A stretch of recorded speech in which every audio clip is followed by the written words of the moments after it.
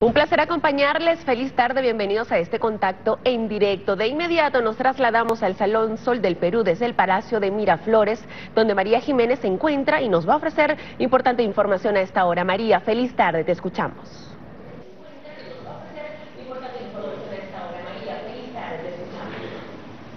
A esta hora, el presidente de la República, Nicolás Maduro, participa en el Consejo de Vicepresidentes, eh, parte de las autoridades del Ejecutivo Nacional, los vicepresidentes para el área social de planificación de economía y del socialismo territorial, así como el ministro para la Defensa, Vladimir Padrino López. Parte de las estrategias que se estarán abordando tienen que ver con el tema en el ámbito económico, político y social. Pero vamos a escuchar parte de las declaraciones del máximo jefe de Estado, presidente Nicolás Maduro. Bueno, buenas tardes a toda Venezuela sábado 20 de agosto, le doy un saludo a toda la familia venezolana. Hoy sábado estamos en el mero centro de las vacaciones escolares. Saludo a toda la familia que anda recorriendo el país. Bueno, ha sido impresionante la cantidad de gente que se ha movilizado a las playas, al campo, a las montañas, que ha ido a visitar a la familia. Un saludo a toda la familia venezolana. Igualmente hemos estado aquí, el Consejo de Vicepresidentes de Gobierno, trabajando siempre diversos temas. Estamos atentos ahora a la frontera. Hemos estado confirmando el buen funcionamiento de los pasos fronterizos que se decidió abrir en la reunión con el presidente Juan Manuel Santos hace una semana exactamente. Han funcionado de manera perfecta, éxito total. Y esto nos permite, voy a llamar en estos días al presidente Santos, porque creo que esto nos permite avanzar en la apertura de otros pasos fronterizos, porque la metodología va funcionando muy bien. Y bueno, la frontera en esta primera fase de apertura peatonal va reaccionando positivamente. Es lo que yo dije, una frontera de paz armónica, que vaya tomando un dinamismo nuevo, con un relacionamiento económico, comercial, de ganar, ganar, sano, controlando tantas variables de contrabando, que hay en toda la frontera, inmensa frontera, viva frontera. Aquí desde el puesto de comando presidencial tenemos seguimiento de todo el acontecer de la frontera, pero puedo decir que ha sido todo un éxito.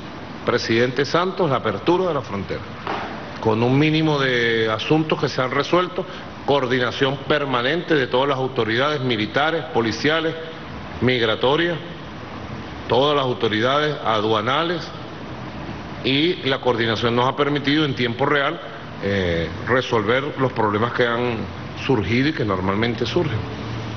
Estamos evaluando binacionalmente para eh, ver el segundo paso que hay que dar.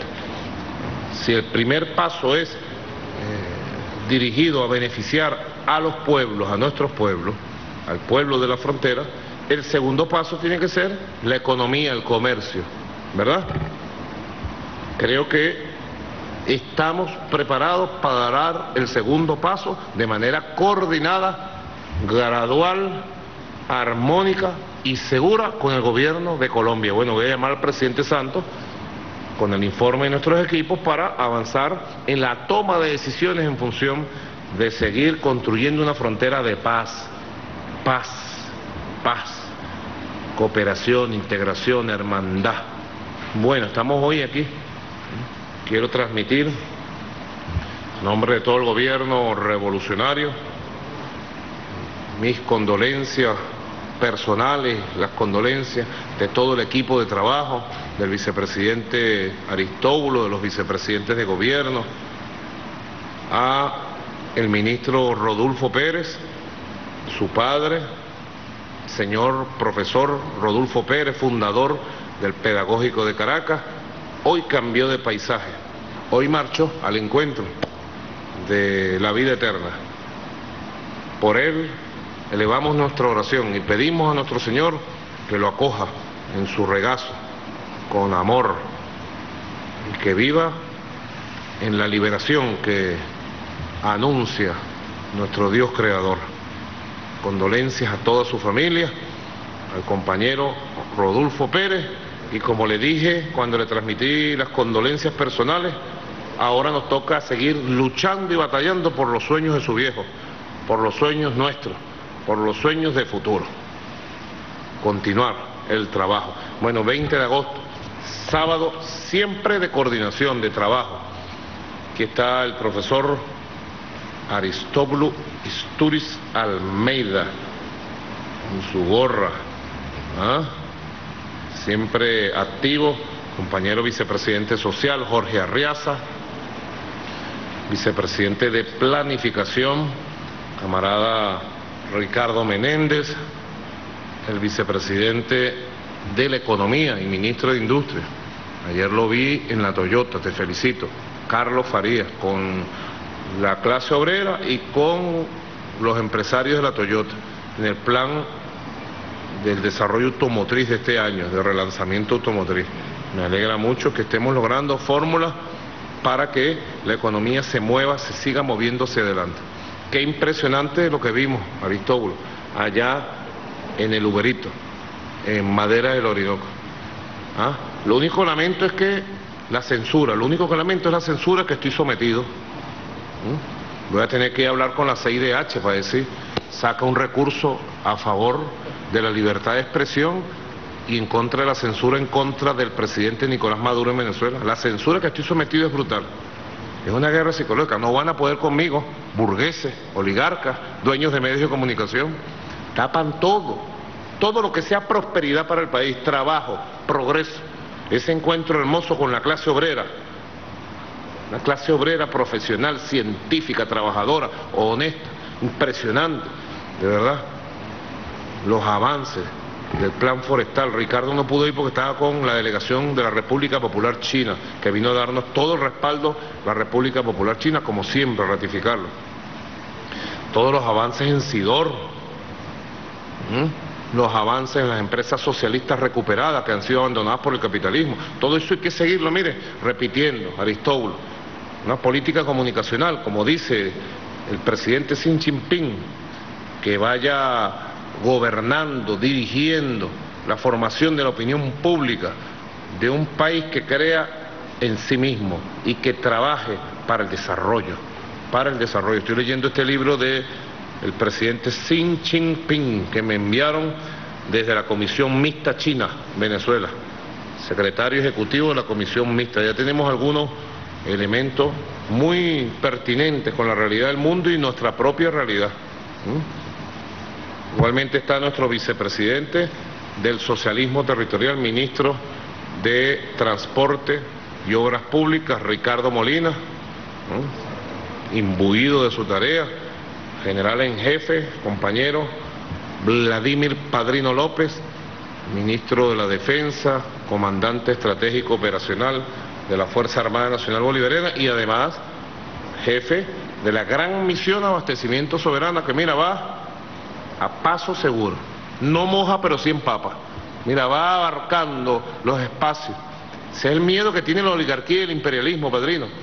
Que la gran misión abastecimiento soberana comienza a ser estructuralmente, a su paso por el territorio económico del país, comienza a ser la gran solución a los procesos productivos de nuestra economía, de nuestro crecimiento y del abastecimiento por la vía soberana del trabajo sin, sin cuentos, sin fantasía. Los problemas venezolanos los resolvemos trabajando nosotros, nosotros, con dignidad. Tenemos cómo, sabemos cómo y queremos hacerlo y lo estamos haciendo. Y solo nosotros podemos. No me canso de repetir, solo nosotros los patriotas, los revolucionarios, los bolivarianos, las bolivarianas, los chavistas, las chavistas, la gente que ama esta patria, solo nosotros y nosotras podemos, Silvia, dar el gran cambio, la gran transformación económica gobernarla, administrarla, dirigirla, gestionarla, llevarla hacia adelante y transmontar los momentos difíciles que estamos pasando, que hemos pasado y que vamos a superar. Irlos transmontando, ¿no? como que cabalga por caminos duros, difíciles, llenos de piedra, por caminos minados. Somos nosotros, podemos transitar esos caminos, cabalgarlos, gobernarlos, dominarlos. También está con nosotros el ministro de la Presidencia, general Jesús Salazar, la primera combatiente. Estamos hablando de algunos de algunos secretos que tiene Cilia nuevos para la belleza femenina de Venezuela. Pero ese es tema de otro programa, ¿verdad? Se pone roja Silvia. secretos, son secretos. Las mujeres, mira, mismo levantaron la cabeza todas las mujeres que están aquí. Son secretos que venimos experimentando como parte de la agenda bolivariana de la belleza femenina. Silita, Silvia le da miedo cuando yo hablo, pero es así, ¿verdad?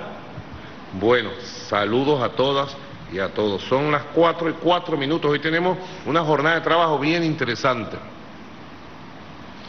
porque hoy se cumplen diez años, un día como hoy, una tarde como hoy, en esta Caracas de los Libertadores, nuestro comandante Hugo Chávez, nuestro maestro, nuestro amado líder, fundó, inauguró el cardiológico infantil latinoamericano Gilberto Rodríguez Ochoa, 10 años.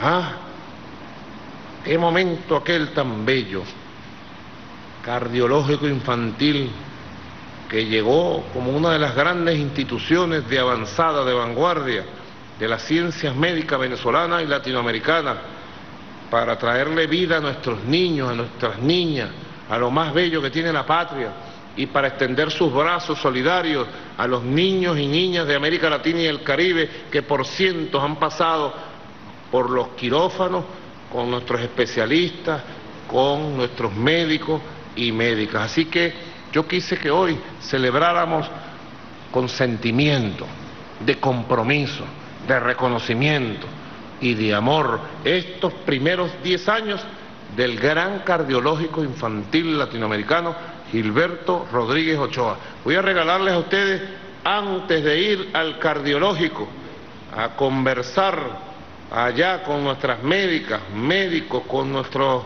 compatriotas, yo quiero compartir con ustedes un video precisamente de los 10 años de esta obra de la revolución bolivariana, obra de amor, obra de vida, obra de futuro. ¿Estamos listos? Adelante video. En los primeros 10 años del Hospital Cardiológico Infantil Latinoamericano, doctor Gilberto Rodríguez Ochoa, ya llevamos más de 10.443 intervenciones realizadas. Cirugías cardíacas pediátricas complejas que en clínicas privadas pueden costar más de 10 millones de bolívares fuertes o en el exterior 100 mil dólares. En Venezuela son totalmente gratuitos en el Hospital Cardiológico Infantil Latinoamericano demasiado contenta con la operación que le hicieron a mi hija. Gracias al cardiológico, mi hija está mejor y pronto se irá súper mejor de aquí. Por eso yo creo en Venezuela. Esta es la patria nueva, la patria tuya. Muy bien, muy bien, excelente, qué belleza. Por allá estuvo Silvio, ¿verdad? En un programa de Silvia en familia una belleza, ¿no? Por ahí estamos también, tenemos un video donde aparece el comandante Chávez, vayan preparándolo, el día que inauguró el cardiológico infantil. Esta es una obra de Chávez, un milagro de Chávez en la tierra, aquí entre nosotros. Y ahora Chávez somos nosotros, somos todos, somos todos. Y hemos continuado esta obra. Y para mostrar cómo esta obra continúa y para compartir hoy día de felicidad en medio de las vacaciones, este día de felicidad, 20 de agosto 2006, año de avance y de ofensiva, de estabilidad política, de estabilidad económica. ¿Cuántas cosas pasaron los años anteriores, Aristóbulo? ¿Ah? hubiera sido posible la creación del cardiológico infantil si no derrotamos los golpes de Estado del 2002-2003? Jamás, jamás. Las batallas que dimos el 2002, 2003, 2004 nos permitieron tiempos de estabilidad, de crecimiento, de inversión, de prosperidad social, de vida, de creación milagrosa y maravillosa, como fue el año 2006, 2007, 2008 como serán estos años que están por venir. ¿ah?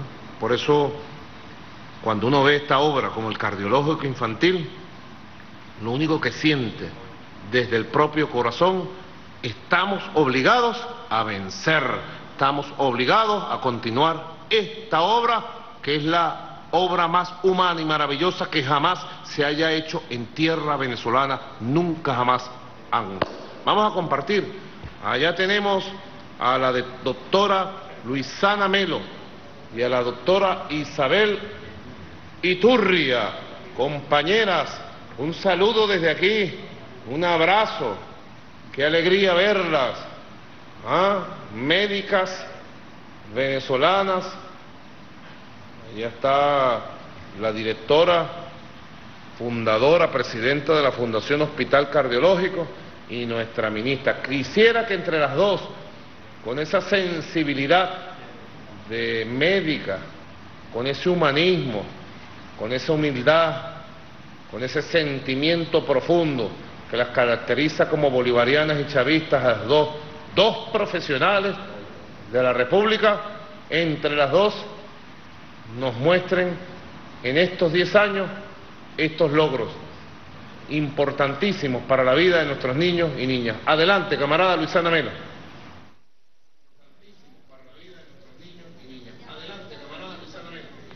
Buenas tardes, presidente, y buenas tardes a todo el pueblo de Venezuela. Estamos efectivamente aquí en esta hermosísima institución, el Cardiológico Infantil, sueño de nuestro gigante eterno Hugo Chávez, e, y que lleva por, el por nombre el doctor Gilberto Rodríguez Ochoa, maestro de maestros de salud pública, revolucionario y excelente médico.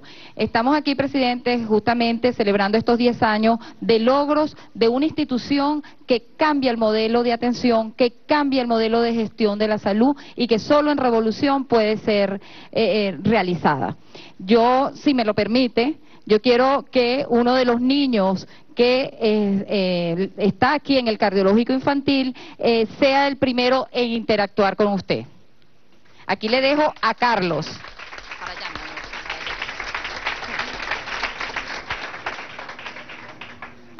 Buenas tardes, señor presidente Nicolás Maduro Moro. Bienvenido al Cardiológico Infantil. Me llamo Carlos Balsa, tengo ocho años. Eh, estoy en la emisora comunitaria de Cardiológico Infantil 89.3 FM.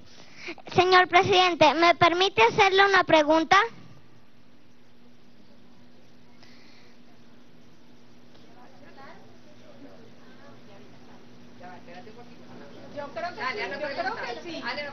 Sí, vamos a escuchar tu pregunta. A propósito Adelante, de Carlos. décimo aniversario, ¿le quiere dar un mensaje a los niños y niñas de Venezuela y del mundo?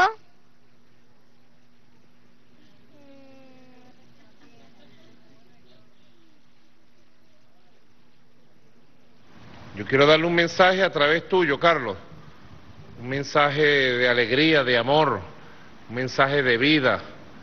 Y bueno, felicitarlos a ustedes porque están en tiempos de vacaciones y su obligación es ser felices, jugar, ser felices, querer a sus padres, a sus madres, querer a sus hermanos, a sus hermanas y además decirles que el cardiológico infantil es una obra que hizo el comandante Hugo Chávez, nuestro padre, el padre de la revolución y ese cardiológico infantil va a continuar recibiendo todo el apoyo para su crecimiento, para su expansión y para que siga dando salud y vida para todos los niños, para todas las niñas. Ese es mi saludo, Carlos. Felicitaciones a los niños y niñas de Venezuela por los 10 años del cardiológico infantil.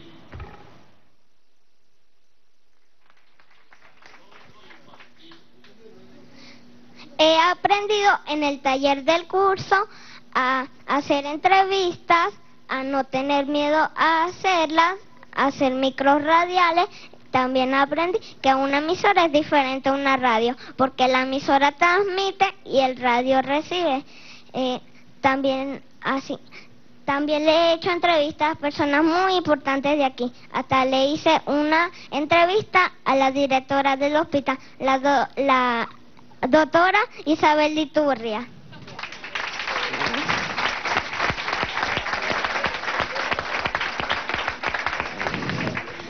Soy egresado del primer curso de aproximación a la radiodifusión comunitaria para niñas, niños y adolescentes, donde nuestra premisa es educar, informar y recrear. Gracias, le doy el pase a mi amigo Moisés Díaz.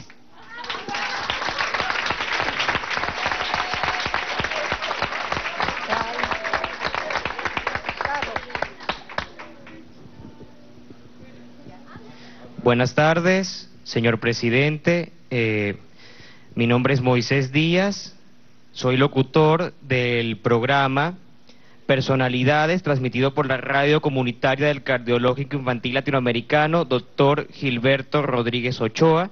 Y al igual que Carlos, también soy egresado del primer curso de aproximación a la radiodifusión, de aproximación a la radiodifusión comunitaria que fue eh, que, que fue compartido por el Hospital Cardiológico Infantil. Eh, no sé si usted me pudiera dar el permiso para poder hacerle una pregunta. Bueno, lo que quiero preguntarle es, a pesar de que usted no está aquí en persona, ¿cómo se siente usted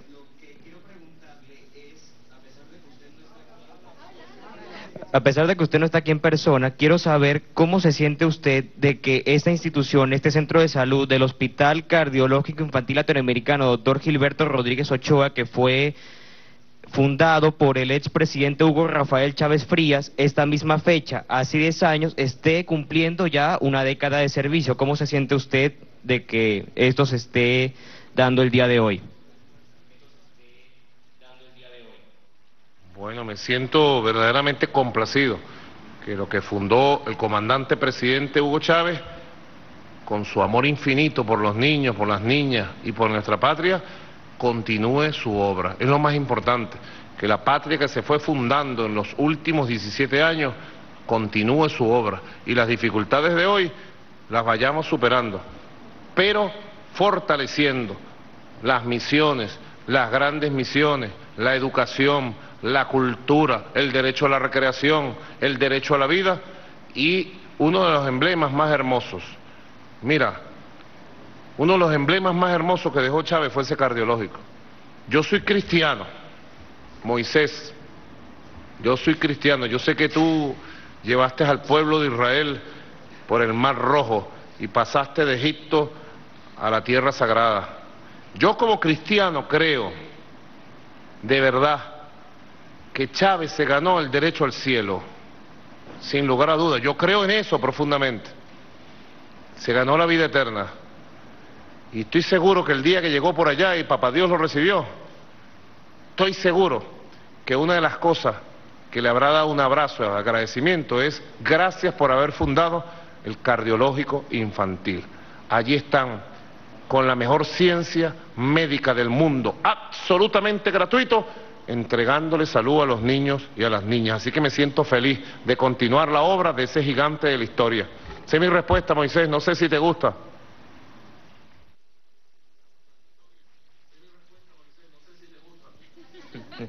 No, presidente, la verdad es que no esperaba menos de usted, así que eso era todo lo que quería preguntarle. Muchas gracias. Lo, lo dejo con la ministra de Salud, la compañera Luisana Melo. Como ve, presidente, qué maravilloso es estar aquí hoy en el cardiológico donde eh, podemos palpar lo que es el cambio de un modelo de atención, lo que es el cambio de un modelo de gestión, lo que es el cambio de la revolución. Este modelo de gestión que incorpora a estos niños y a estas niñas y adolescentes, no solo algunos de ellos pacientes, otros los hijos y las hijas de las, de las trabajadoras y los trabajadores, y que los incorpora a actividades más allá del tema de la salud como enfermedad, sino la salud tal cual como la revolución la ha diseñado, la salud como buen vivir, la salud para la suprema felicidad. Le voy a dejar entonces aquí con Isabel Iturria, la directora presidenta de esta institución, quien ha sido desde su génesis la que ha guiado todo este proceso de transformación de la forma de atender a nuestros niños, a nuestras niñas y a, los adolescentes. Y eh, para que Isabel le comente los eh, logros que a través de estos 10 años se han obtenido en la revolución. Buenas tardes, presidente. Y por allá está el profesor Aristóbulo Isturiz, ¿no? Que también recorrió estos espacios dando aquella clase inaugural unos días antes del 20 de agosto del 2006 en el que los estudiantes del programa de técnicos medios del cardiológico arrancaban, arrancaban bueno, su, su formación dentro del cardiológico infantil, muchos de ellos todavía aquí entre nosotros ahora como trabajadoras y como trabajadores. Eh, pues sí, presidente, son 10 años, 10 años eh, en el que cada día volvemos a sentir que por aquí pasó Chávez.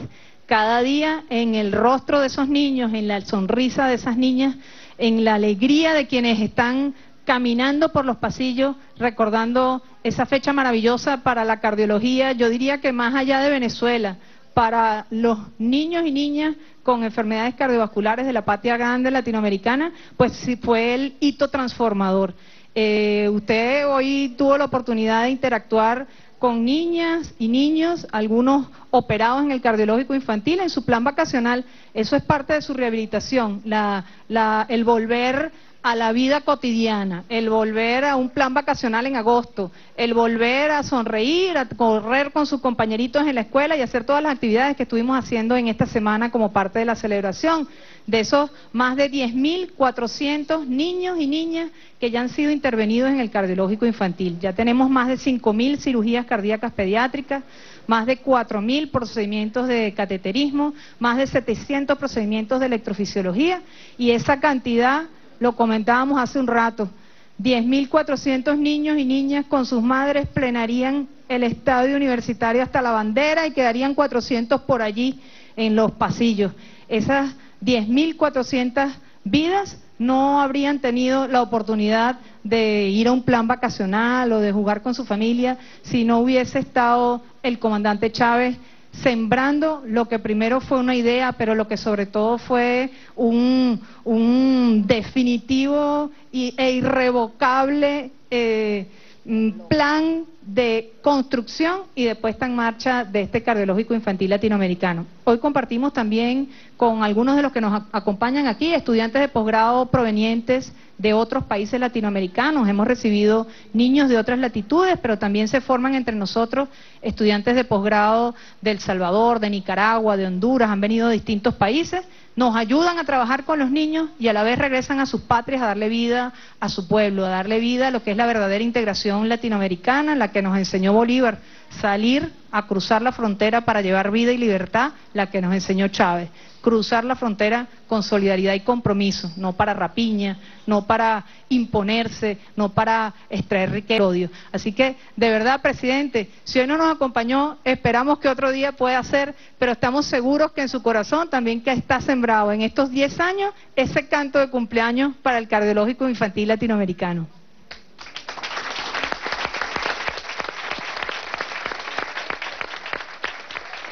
Dios acompañe todos estos esfuerzos, todos estos logros. Estábamos viendo una carta, Isabel, doctora Isabel Urrutia, Iturria. Estábamos viendo una carta del comandante Chávez que guardan ustedes como un tesoro hace 10 años como primer visitante. Le pido al camarógrafo si nos las puede colocar y hacerle un acercamiento. Pido Fíjense, esta carta dice, visitante número uno, Esa es la letra de nuestro comandante. Uno ve esa letra y se emociona, ¿verdad? Primera vez que vimos esa letra fue desde el cuartel San Carlos. Por favor, si pudieran dejar, ¿quién dirige las cámaras que toma decisiones autónomas? ¿Ah? Autónomo. Visitante número uno, lleno mi corazón de alegría y desbordada mi alma de amor, con Dios por delante. Viva la revolución, vivan los niños y las niñas. Felicitaciones a todos. Y más abajo seguramente está su firma. Ahí está la firma de Rabo de Cochino, del comandante Hugo Chávez Frías. 20 de agosto, Caracas, 20 de agosto 2006. Ahí está, la obra cristiana, yo podría decir, en este día histórico de los 10 años, Chávez fue el más grande cristiano que haya pasado sobre esta tierra, en 200, en 500 años. El más grande líder cristiano, practicante, que llevó amor, vida, dignidad, igualdad, identidad, orgullo de ser de esta patria venezolana, Hugo Chávez Frías. Así de sencillo. Nosotros los cristianos, ojalá podamos igualarnos a la pasión y a la capacidad de llevar su amor en acción de ese gran líder cristiano, Hugo Chávez Frías. Así de sencillo. Ojalá los cristianos, los católicos, lleváramos a la realidad, a la práctica, todo el amor que nos enseña la palabra de nuestro Señor y toda la solidaridad se convirtiera de verdad en acción, en obra. Por sus obras los conoceréis. Gran obra del comandante Hugo Chávez. Diez años. Los felicito a todos, a todas. Este cardiológico además es un hospital universitario. Allí se forjan desde el punto de vista científico, desde el punto de vista técnico, desde el punto de vista ético, todos los médicos y médicas de Venezuela y más allá de nuestras fronteras. 4 y 25, sonó el cañonazo, pues. Palabras ciertas, se forjan, se forman. Así que no solamente eh, se le da la atención a nuestros niños y niñas, es un hospital de la solidaridad, pudiéramos decir un hospital del alba. Este hospital nació al calor de la Alianza Bolivariana para los Pueblos de Nuestra América. Y tenemos que agradecer a los médicos de Cuba, a Fidel, todo el apoyo que le dio nuestro comandante Chávez cuando emprendió esta tarea, esta misión maravillosa de construir y entregarle al pueblo de Venezuela el cardiológico infantil.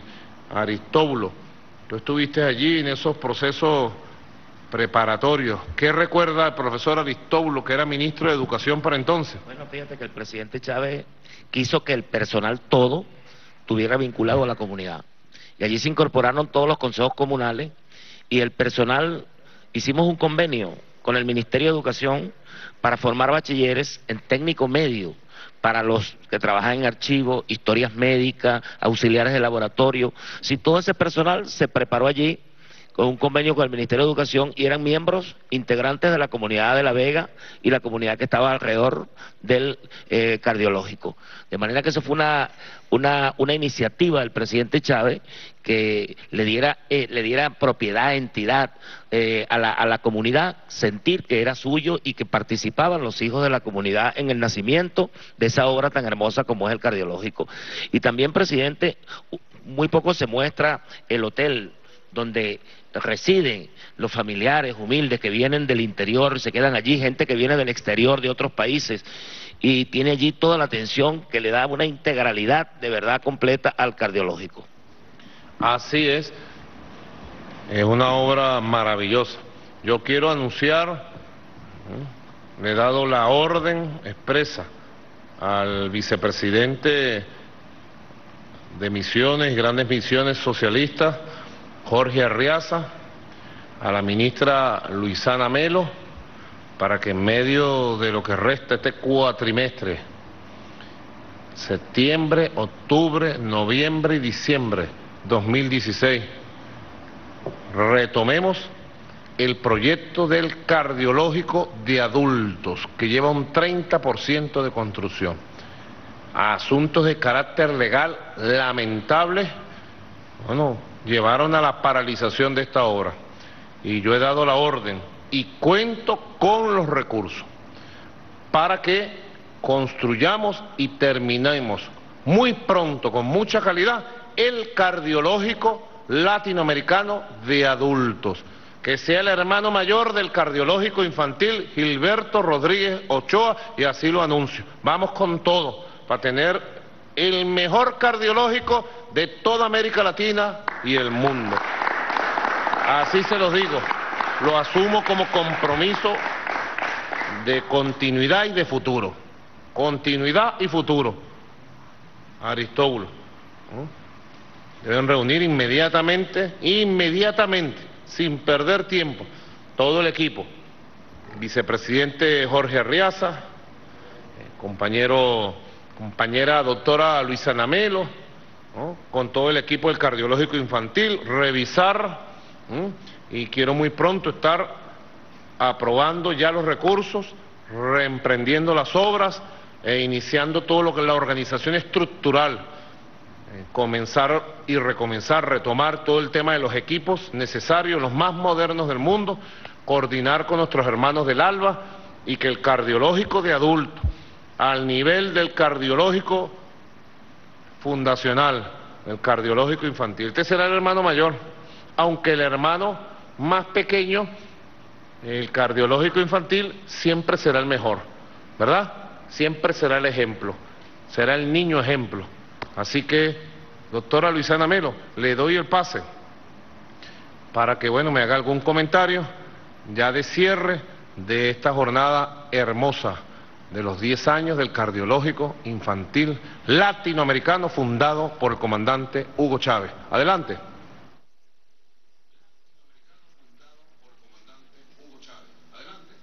Bueno, presidente, efectivamente entonces estaremos eh, gestionando para que podamos hacer realidad el cardiológico de adultos. no puedo despedir sin decirle que tenemos aquí también, estamos acompañados y acompañadas de Argelia, la hermana del el doctor Gilberto Rodríguez Ochoa, quien ha acompañado también al cardiológico en su trayecto de 10 años eh, y que está, como le estoy diciendo, hoy aquí también acompañándonos a todas y todos. Bueno, no me queda más que decir, presidente, lo importante que es esta obra, no solo desde el punto de vista de infraestructura, y siempre quiero destacar eso, es cómo es el cambio del modelo de atención, cómo el cardiológico es un, un, espacio del amor real, de lo, de lo que es la salud desde un punto de vista integral, de lo que significa la salud como la suprema felicidad. Y aquí tenemos la muestra, dar vida al corazón de nuestros niños y niñas, dar vida al corazón de nuestras adolescentes y dar vida no solo al corazón de niños y niñas de nuestra patria chica, sino de nuestra patria grande y también más allá de la frontera a otro continente. Así que bueno, no, no me queda, me resta decir que estamos muy felices de celebrar hoy 10 años de este proyecto que fue un proyecto del presidente Hugo Chávez hecho realidad hecho realidad en la transformación de la forma como atendemos, cómo queremos, cómo logramos realmente trascender el concepto de enfermedad para, para lograr un concepto de salud que va más allá de los aparatos, de las infraestructuras, sino que tiene que ver con la integralidad, la integralidad de la atención, la integralidad de todos los procesos para el buen vivir, para la suprema felicidad.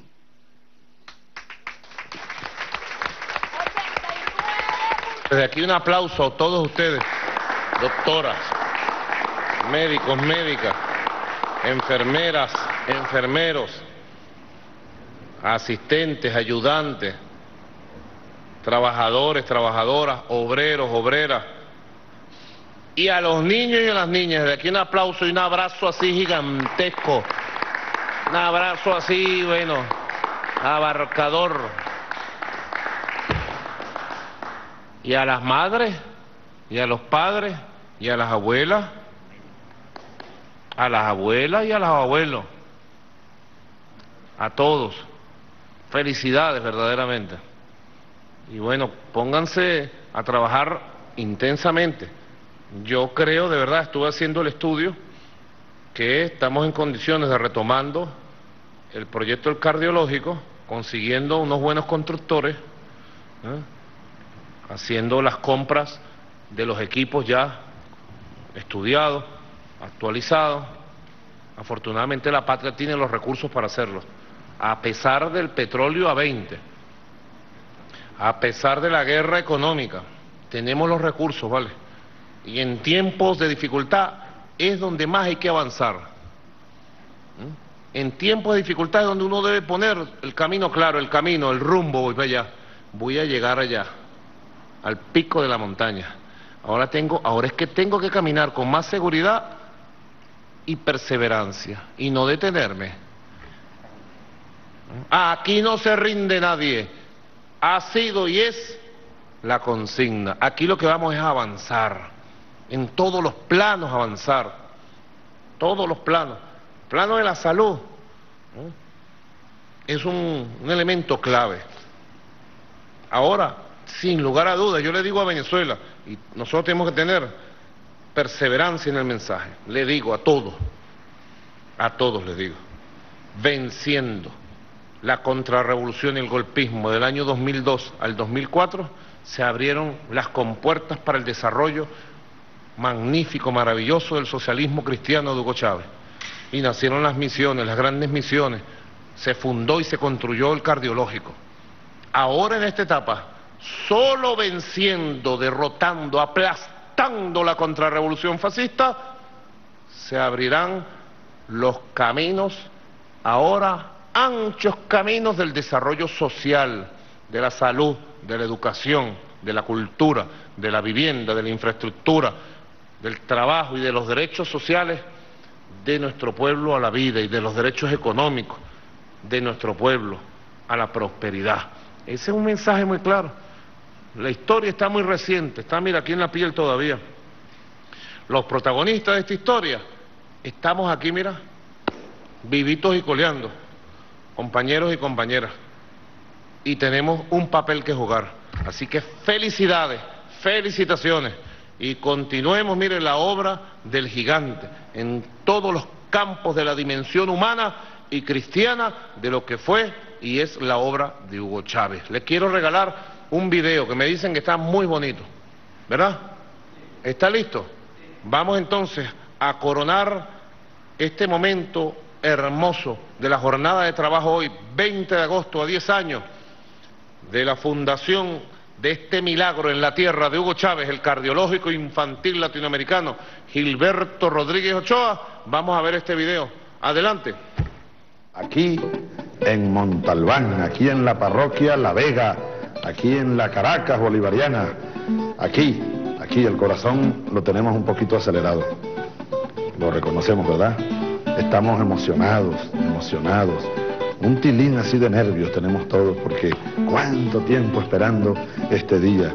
A ocho años de la inauguración del Hospital Cardiológico Infantil Latinoamericano Gilberto Rodríguez Ochoa, celebramos la mirada amorosa del comandante eterno Hugo Chávez, quien con su humanidad infinita puso al servicio del pueblo venezolano y nuestro americano una de las más grandes y nobles obras de la revolución bolivariana. Mira, mira, mira, mira, mira todo aquello, mira. Yo te dije ayer que por allí hay unos monos, allá hay unos monos. Por allá hay unos monos que brincan. Mira, en aquel arbolito hay un mono, un mono amarillo. Y este es un mono que tú tienes aquí. Sí, ese es un mono. Oye, si estás bien linda hoy, dame un beso. ¡Ay, qué rico! Pero aquí, aquí, al cachete.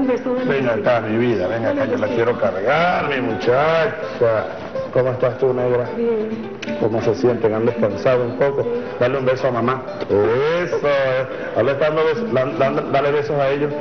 Beso para todo el mundo, mira. Eso. Qué lindo está mi niña. Que Dios me la bendiga.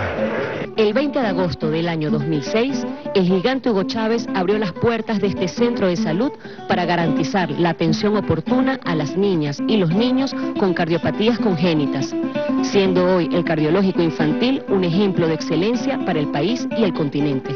Estoy completamente agradecida, quiero agradecerle a todo el personal del hospital por todo lo que han hecho por mi hijo. Gracias a ellos mi hijo está vivo y espero que continúen así este, haciéndolo por los demás niños. Gracias. Contenta y agradecida con el Poder Superior, pues gracias a Dios eh, fue excelente el trato.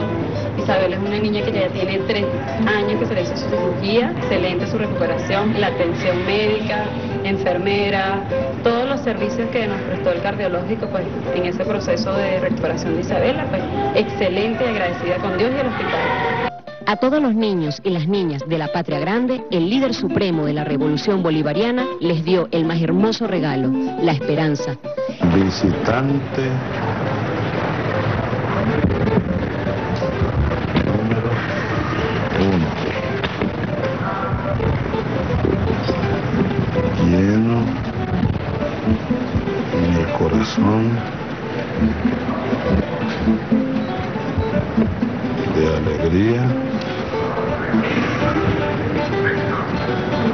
y desbordada. mi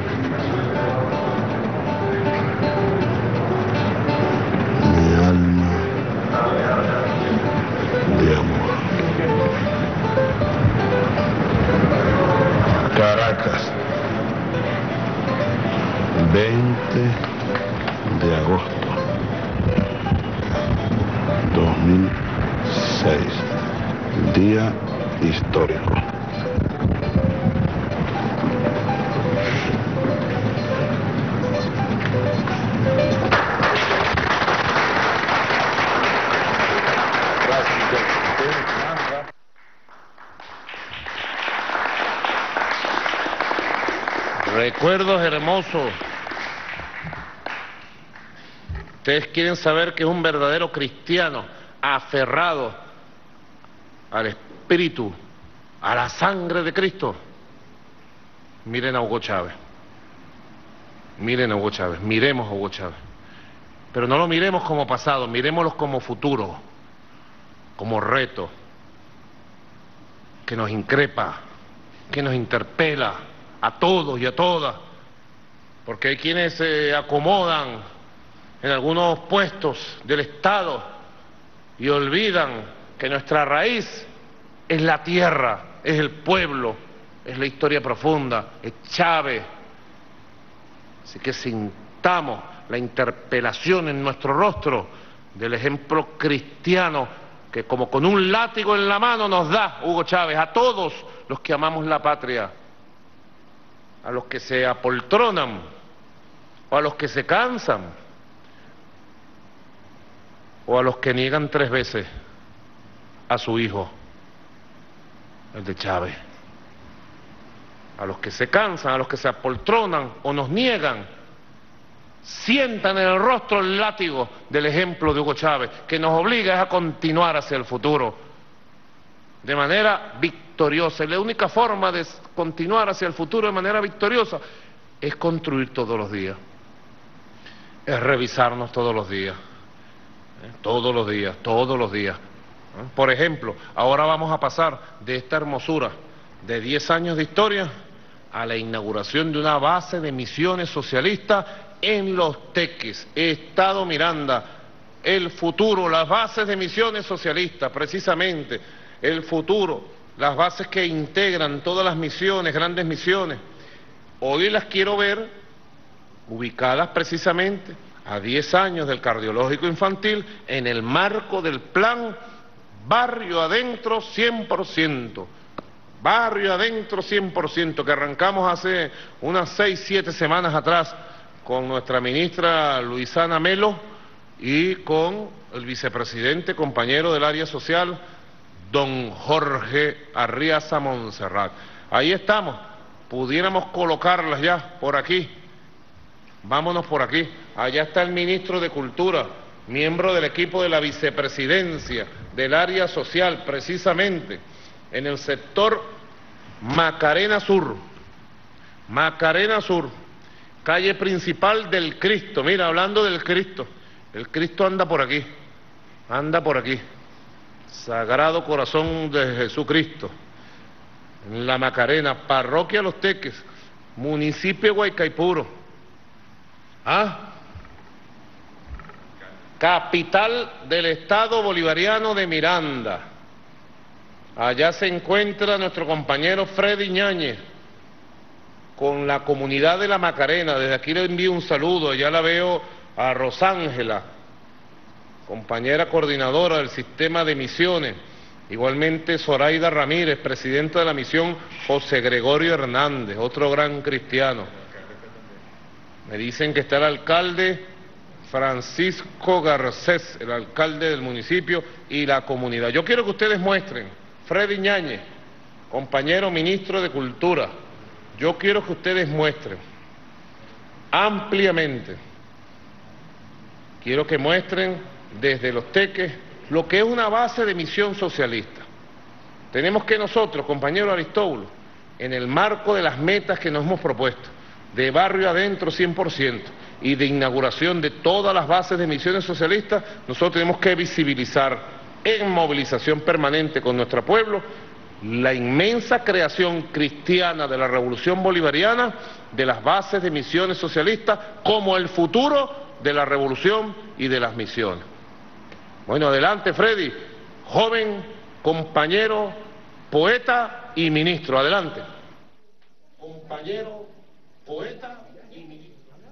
Presidente, un gran saludo desde acá, desde la Macarena Sur, inaugurando hoy esta base de misiones, la base de misiones El Cristo, como usted lo ha dicho. Esto forma parte de todos nuestros sábados. Es la, es la agenda de la suprema felicidad social que desplegamos cotidianamente, pero que hacemos énfasis los sábados un poco para articular y mostrar el trabajo. Una base de misiones, presidente, lo vemos cada vez que asistimos al territorio, es aquella articulación, aquella bisagra que nos devuelve el territorio, que nos comunica a los pueblos que habían estado incomunicados y que nos pone en una perspectiva de construir nuestra sociedad éticamente, políticamente y económicamente. En, este, en esta tarde maravillosa que hemos estado acá, hemos conocido conuqueros, experiencias productivas, experiencias educativas, confluyen todas las misiones, pero además de eso, lo que la comunidad logra hacer de estos espacios como espacios verdaderamente de reunión, como espacios verdaderamente para pensar eh, su comunidad, su devenir y para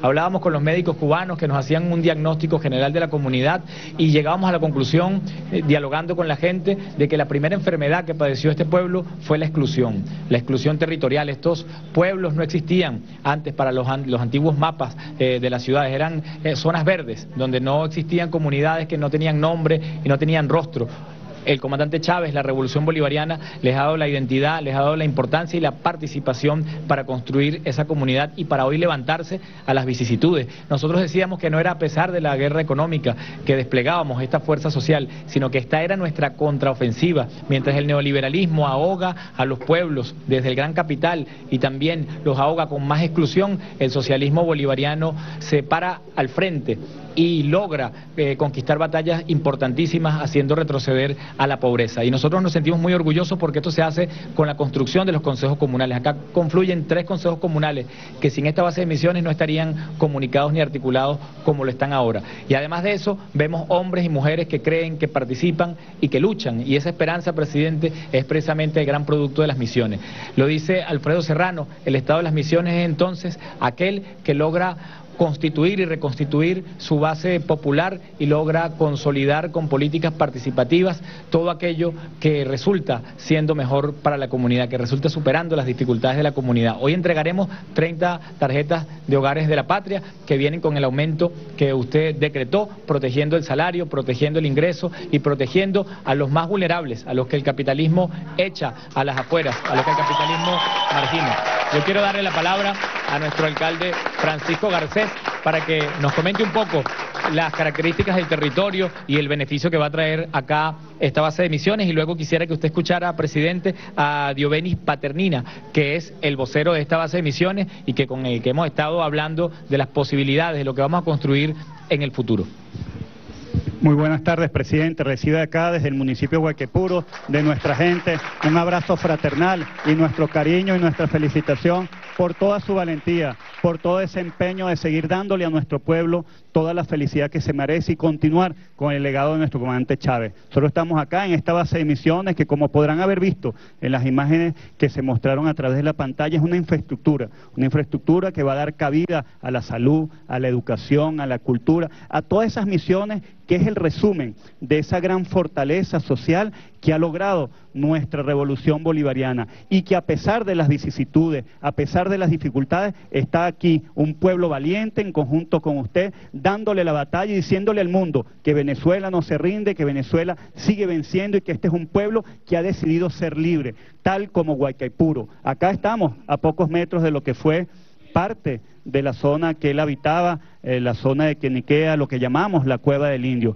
Y nosotros sobre todo acá le podemos comentar, esta es una zona que queda cinco minutos del centro de la capital del Estado Miranda, capital que usted nos ha dicho que, hemos, que recuperemos, que le demos el puesto digno que se merece, tal como nuestro comandante quiso, pero que adicionalmente en esta zona tenemos aproximadamente 5.500 habitantes, un poco más de 2.800 familias que se van a ver atendidas directamente a través de todos los beneficios sociales y sobre todo estos espacios. Esta infraestructura va a estar ocupada por hombres, por mujeres y niños que van a regar de alegría, de felicidad y de sonrisa todos los días esta misión socialista de usted y sobre todo de nuestro comandante eterno. Así que, presidente, Sepa usted que desde Guayquepuro tiene un pueblo aguerrido, rodilla en tierra, en batalla, resistiendo y sobre todo venciendo junto a usted. Y quería darle la palabra a Dioveni, quien es el vocero de nuestra base de misiones acá del Cristo, quien nos va a comentar pues el significado que tiene para ellos este gran logro de la Revolución Bolivariana y sobre todo este gran logro del pueblo. Diovenis.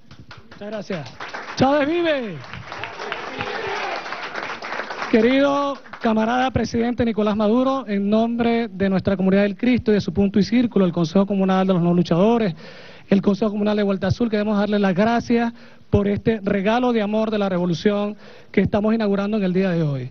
Estamos aquí convocados, presidente, del Poder Popular para inaugurar esta base de misión que trae eh, o está proyectada en ese empeño que tenía el comandante Chávez, nuestra inspiración, de brindarle la mayor suma de felicidad posible al pueblo. Y más todavía en medio de esta guerra económica, en medio de esta arremetida a la derecha, nuestro gobierno revolucionario sigue protegiendo al pueblo, sigue haciendo el mayor esfuerzo posible para brindarle a nuestro pueblo seguridad y bienestar. Camarada presidente, en esta base de misiones hacen vida todas las misiones socialistas. Eh, la misión Barrio Adentro en el área de salud, la misión Barrio Adentro Corazón eh, Deportivo, la misión Cultura Corazón Adentro, Hogares de la Patria, tenemos la Brigada del Robert Serra, estamos articulando el Poder Comunal en el, en, el área de agroproductivo, porque esta base de misión, además, presidente, está ubicada en una zona eh, agroproductiva. Tenemos ya el Consejo Campesino conformado, tenemos 20 parceleros y estamos empeñados en también contribuir a la soberanía productiva del país, presidente a través de la producción de nuestras comunidades. Gracias y estamos con usted, los estamos apoyando, estamos eh, comprometidos para toda esta guerra económica y vamos a vencer, presidente. Ánimo y para adelante, cuenta con nosotros. Presidente, antes de volver el pase, le informo que acá fueron censadas 124 familias para ser beneficiadas con la tarjeta Hogares de la Patria, 68 van a ser beneficiadas y hoy estamos entregando 30 tarjetas. Yo le devuelvo el pase y le agradezco mucho la oportunidad de encontrarme con estas maravillas que puede producir el pueblo venezolano y que encuentra en las dificultades sus potencialidades para el desarrollo. Acá Los Teques va a ser un ejemplo de producción, un ejemplo de dignidad y un ejemplo de fidelidad a la revolución bolivariana.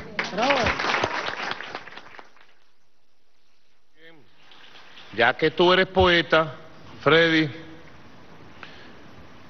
haz como hacía Pablo Neruda, que iba haciendo la poesía, descubriendo la hermosura que todos los días nos da la vida y nos da la realidad.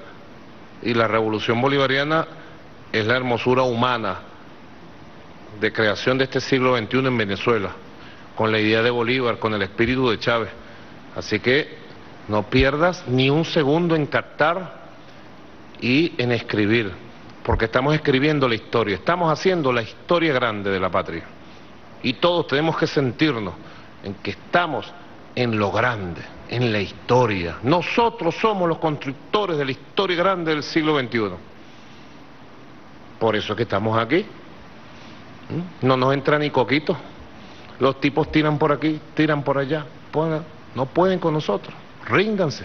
No pueden con nosotros, oligarcas. Aquí hay un pueblo que está decidido a construir en lo profundo.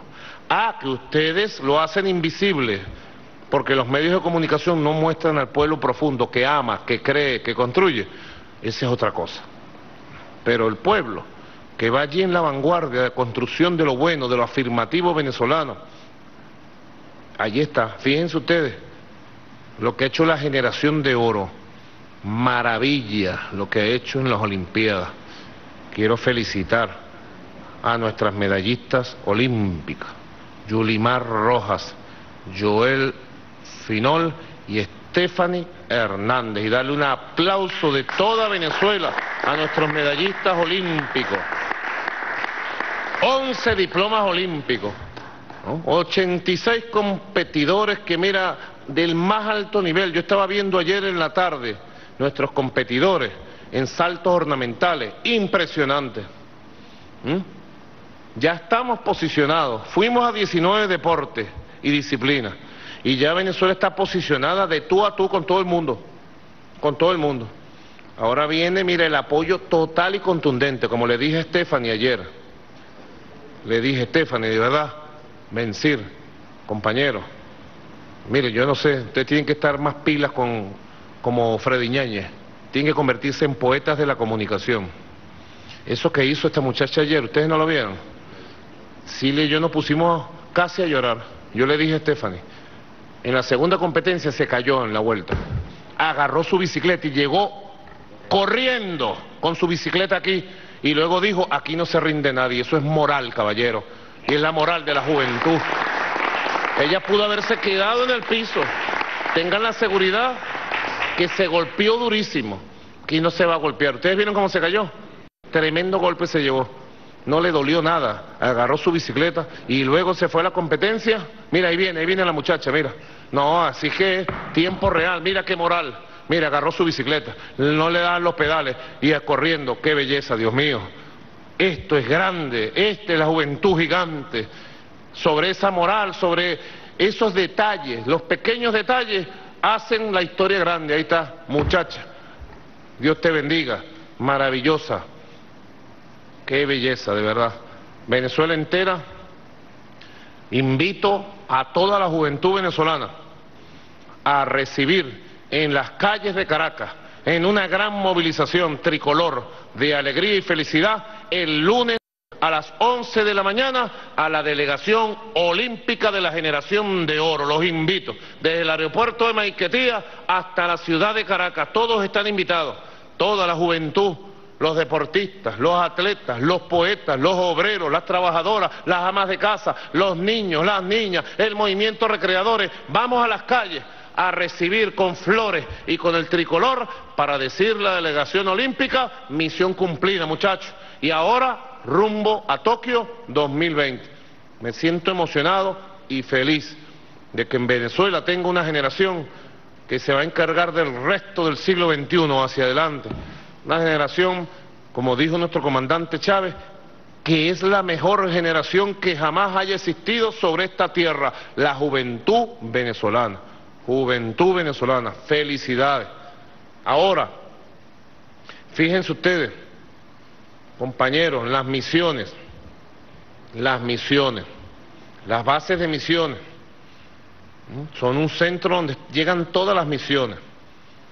Ahí están los CLAP, en primer lugar, CLAP productivo, la misión alimentación. Está la Guardia del Pueblo. Hoy hemos iniciado un plan, nuestro general en jefe encabezó el acto en, en la Plaza Diego Ibarra, porque hemos iniciado un plan para multiplicar el pie de fuerza de la Guardia del Pueblo, para que la Guardia del Pueblo, el gran proyecto del comandante Chávez, vaya a todas las bases de misiones, a todos los urbanismos, a todos los barrios, a todas las comunidades. En las bases de misiones socialistas además está la salud, barrio adentro 100%. Yo anuncio, este año nos pusimos la la meta de liberar o mejor dicho, de establecer 100% en varios estados. Y vamos a buen ritmo. Y la meta, Aristóbulo, vicepresidente ejecutivo, el 31 de diciembre, cuando nos estemos dando, mira, el abrazo de fin de año y de año nuevo, y yo ya haya entregado la vivienda número 500 mil de este año, yo quiero que ya el 31 de diciembre tengamos barrio adentro 100% en los siguientes estados. Atención gobernadores, gobernadoras, alcaldes, alcaldesas, compañeros, compañeras, VC, consejos comunales. Vamos a ir, así como se logró en el año 2004-2005, estado por estado, liberarlo del alfabetismo, vamos a lograr barrio adentro 100%, estado por estado del país. Así que, atención, tomen nota, gobernadores, alcaldes, hombres y mujeres del pueblo. Barrio adentro 100%. En Nueva Esparta, Guárico, Vargas, Yaracuy, Zulia, del Tamacuro, Distrito Capital, Cogede, Portuguesa y Sucre. Esa es la meta 31 de diciembre y debemos estar más del 90% de la cobertura barrio adentro, 100%. Para proponernos en el primer trimestre, Aristóbulo, Arriaza, Vladimir Padrino, Cilia Flores de Maduro, proponernos, digo yo, sobre la base del esfuerzo que estamos haciendo, misión cubana en Venezuela, misión médica, compañeros, compañeras de la misión cubana en Venezuela y de la misión médica, proponernos de manera científica, precisa y detallada, el primer trimestre, del primero de enero al 31 de marzo del 2017, cubrir todos los estados del país, todos los municipios del país con barrio adentro 100% y declarar en abril la victoria de barrio adentro 100%. Cobertura total 100%. Son las metas. Compañera Luisana Melo, compañero, usted es el jefe del área social, vicepresidente Arriaza, y el vicepresidente Aristóbulo, que es vicepresidente ejecutivo de todo el gobierno, pero su vocación fundamental es la educación, la salud, lo social, el pueblo movilizado, los barrios, las calles. Es un vicepresidente de calle, de barrio. ¿Verdad? Entonces, esas son las metas. Para que ustedes vean, me gustaría mucho si me pudieran colocar la pantalla compartida con el barrio La Macarena Sur, en Los Teques, Estado Miranda, capital del Estado Miranda, para desde esa base de misiones, fíjense, nosotros tenemos que seguir avanzando y tenemos que convertir esto en eventos de movilización popular adentro del barrio, de renovación de la fe, de la esperanza. Pero además, compañeros, es una meta, como dice el presidente Xi Jinping, tenemos que convertirlo en una política de alto impacto espiritual comunicacional, político e ideológico, de alto impacto, que impacte el alma nacional, de la fe, del valorar lo que tenemos. Yo lo sigo diciendo y lo digo todos los días, compañeros. Dioveni, Dioveni está ahí, ¿verdad? Está en los teques. Dioveni, Carmen, compañeros médicos y médicas que están ahí. El que no cuida lo que tiene, a pedir se queda. Eso es una ley de la vida. Hay gente que se confunde. Casi siempre la gente se confunde con falsas ilusiones. Y el capitalismo es experto en venderle falsas ilusiones a la gente. Aristóbulo.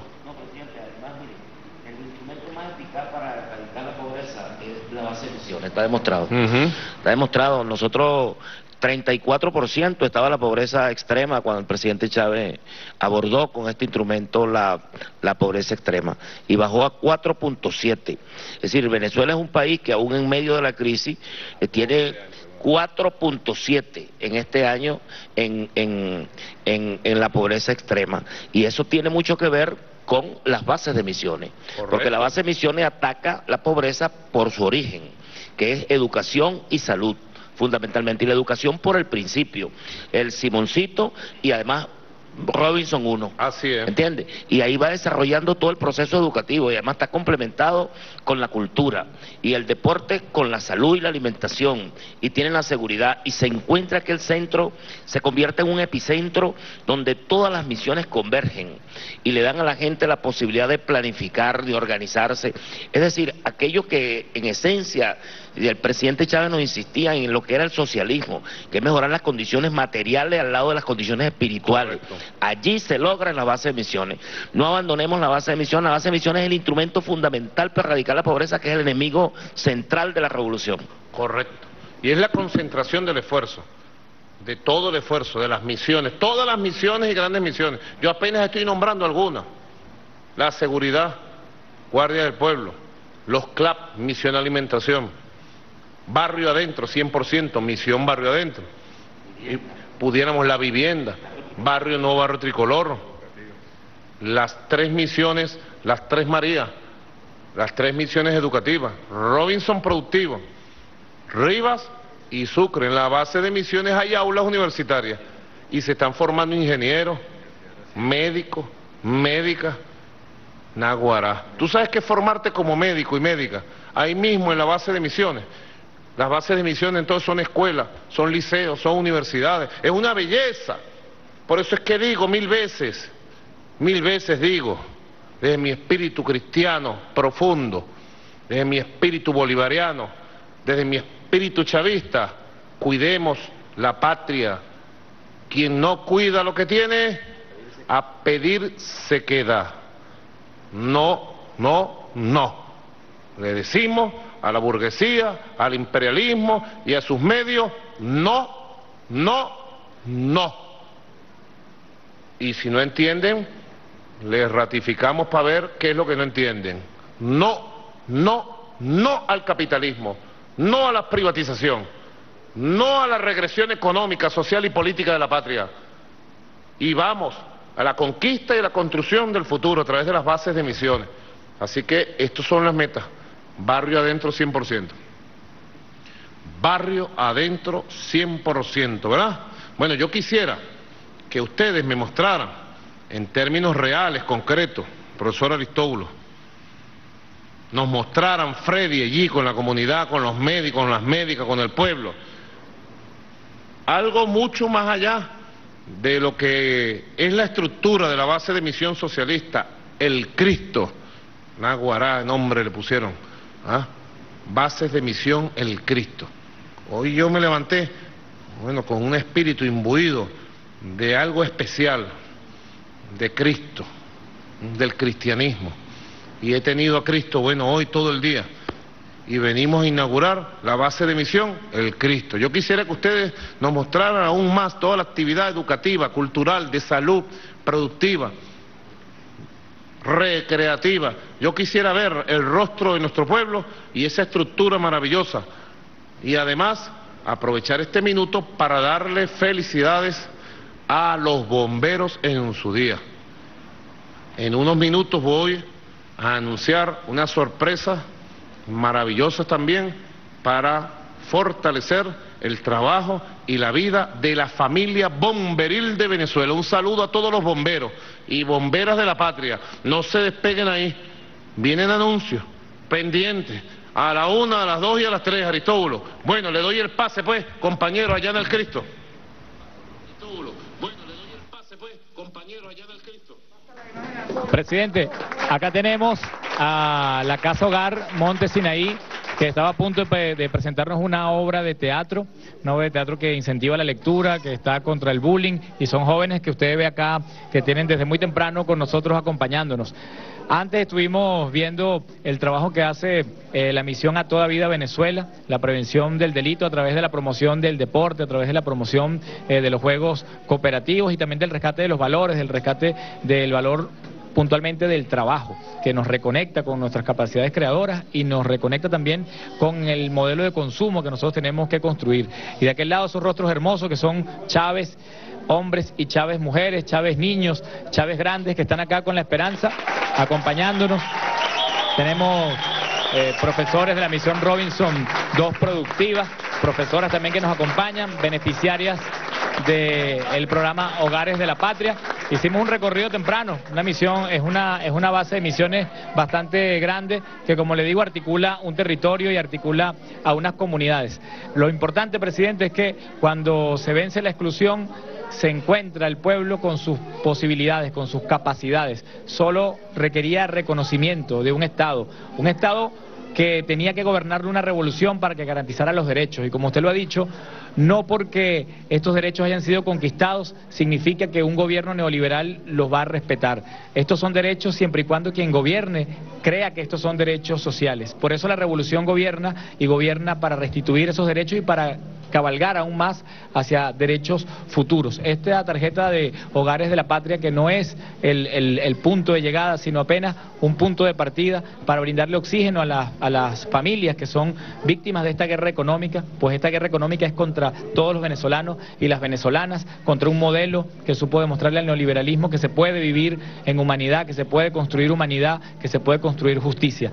Y estas, estos hombres estas mujeres que encabezan hogares tienen proyectos productivos es decir, esta tarjeta viene como un alivio para abonar toda la energía productiva que van a conducir para la emancipación. Y sabemos que la emancipación, lo han dicho acá, quienes estaban en, el diplomado de nutrición, esa emancipación empieza por la tierra, por el dominio de la tierra, el cultivo de la tierra y el desarrollo de la tierra desde el punto de vista endógeno para encontrarnos. Yo quería además eh, matizar el tema de las misiones, como lo dice el vicepresidente Aristóbulo Isturiz, y es que logramos eh, articular un Estado, una forma de Estado que recibimos no ni siquiera del Estado burgués, sino del Estado colonial, fragmentario, que además de ser fragmentario estaba diseñado para que no pasara nada, para que no cambiara nada.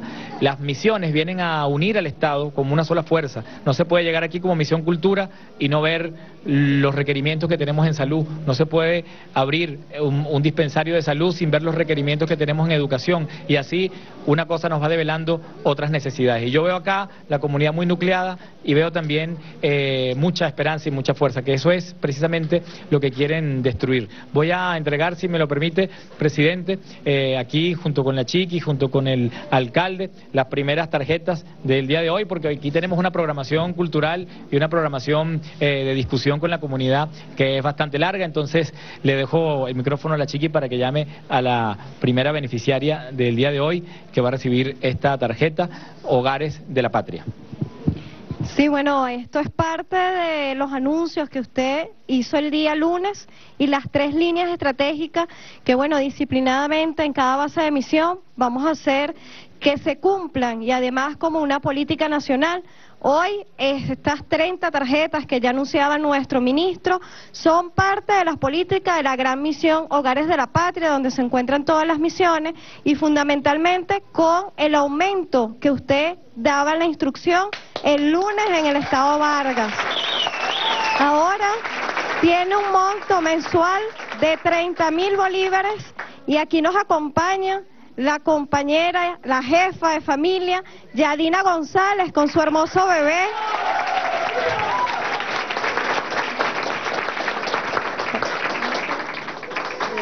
Cuéntanos cuántos meses tiene tu hermoso bebé y cuántos hijos te acompañan. Nueve meses. Tiene nueve meses. ¿Cómo te sientes? Bien. Bueno, ella nos contaba que fue censada hace un año con toda la política justamente en el punto y círculo de esta base de misión, en este territorio, acompañando el proceso. Fue un equipo de compañeros y compañeras del Gabinete Nacional y del Estado hacer todo este proceso de verificación acompañado de misioneras y misioneras. Y hoy estamos entregando su tarjeta.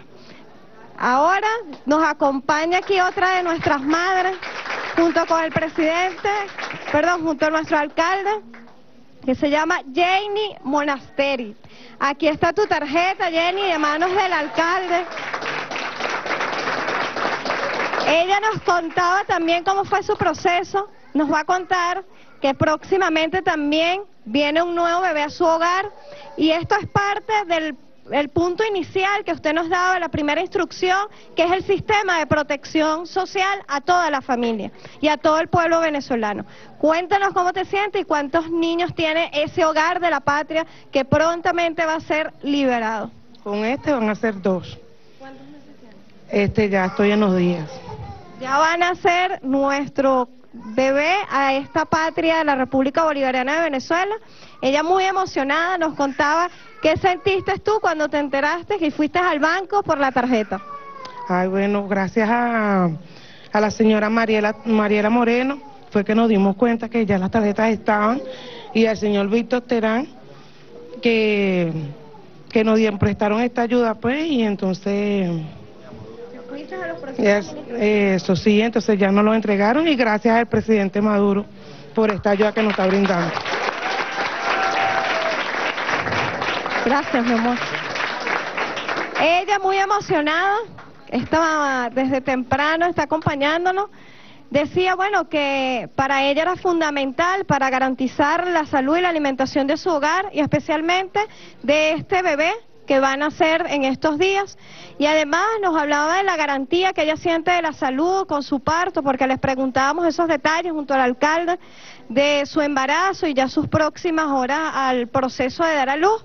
Y ella nos contaba, bueno, que ya está en todos los trámites dentro del Estado, dentro de los teques, para el proceso de dar a luz. Entonces, bueno, nosotros esta mañana este, veíamos, por supuesto, elementos fundamentales, el presidente, más de 15 misiones nos acompañaban el día de hoy, haciendo no solamente el proceso de acompañamiento, sino también nos contaba el vocero que la actividad de hoy se realizaba, una él hacía el énfasis que era parte de la cotidianidad y además las diferentes actividades culturales, desde la obra de teatro que nos acompañan acá, que lo vamos a acompañar a ver una parte de ella, los poemas, la danza y diferentes tipos de grupos nacieron aquí en esta base de misión gracias a la misión cultura y a los compañeros cooperantes. Vemos nosotros cómo todo este proceso del sistema articulado y planificado hace posible que se integren en este ámbito territorial denominada las bases de misiones. Bueno, nosotros vamos a ver la obra de teatro como resultado de esas actividades. Aquí está nuestra compañera Yadexi.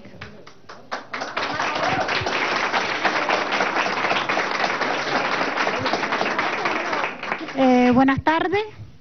Eh, 20 de agosto del 2016, día histórico para la comunidad El Cristo. Y para mí, que cuando vaya para Cuba me llevo el bello recuerdo del trabajo integrado mancomunado, si se puede decir, de los sectores de la comunidad, de las personas que dirigen, de las misiones, todas las misiones, de los animadores socioculturales, de las personas que representan las bases de misiones y de esta bellísima comunidad del Cristo que nunca voy a olvidar. Yo decía... Yo decía, yo decía que queda para la historia del profesor de deporte Dairon, del doctor Ernesto, eh, que son el médico, el deportista, y yo y a Daisy, de verdad va a quedar en la historia. Miren ustedes la gran oportunidad que hemos tenido nosotros de que se inaugurara la base de misión, estando nosotros ya por acá, conociéndonos todos, trabajando junto a Tomás y a Emilia, maravillosos animadores socioculturales, integración de la Guardia Nacional, integración del pueblo, integración de comunidades, integración de la obra de esta revolución. Vamos a darle paso entonces al trabajo del grupo Monte Sinaí de la Fundación Experimental Casa Hogar. Esta obra tiene como nombre el, el genio del libro y, y vamos a hacerlo fragmentado. Vamos a, nosotros vamos esta tarde a ver las partes más, sí, o sea, las partes que más, que, que más nos motivan, o sea, que más enseñanza nos dan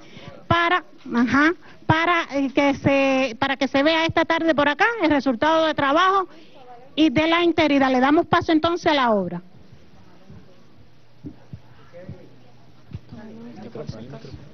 Buenas tardes, jóvenes. Buenas tardes, profesora. Pueden sentarse. Gracias. ¿Quién es la semana de hoy? Yo, profesora. Voy a pasar lista. Allá va.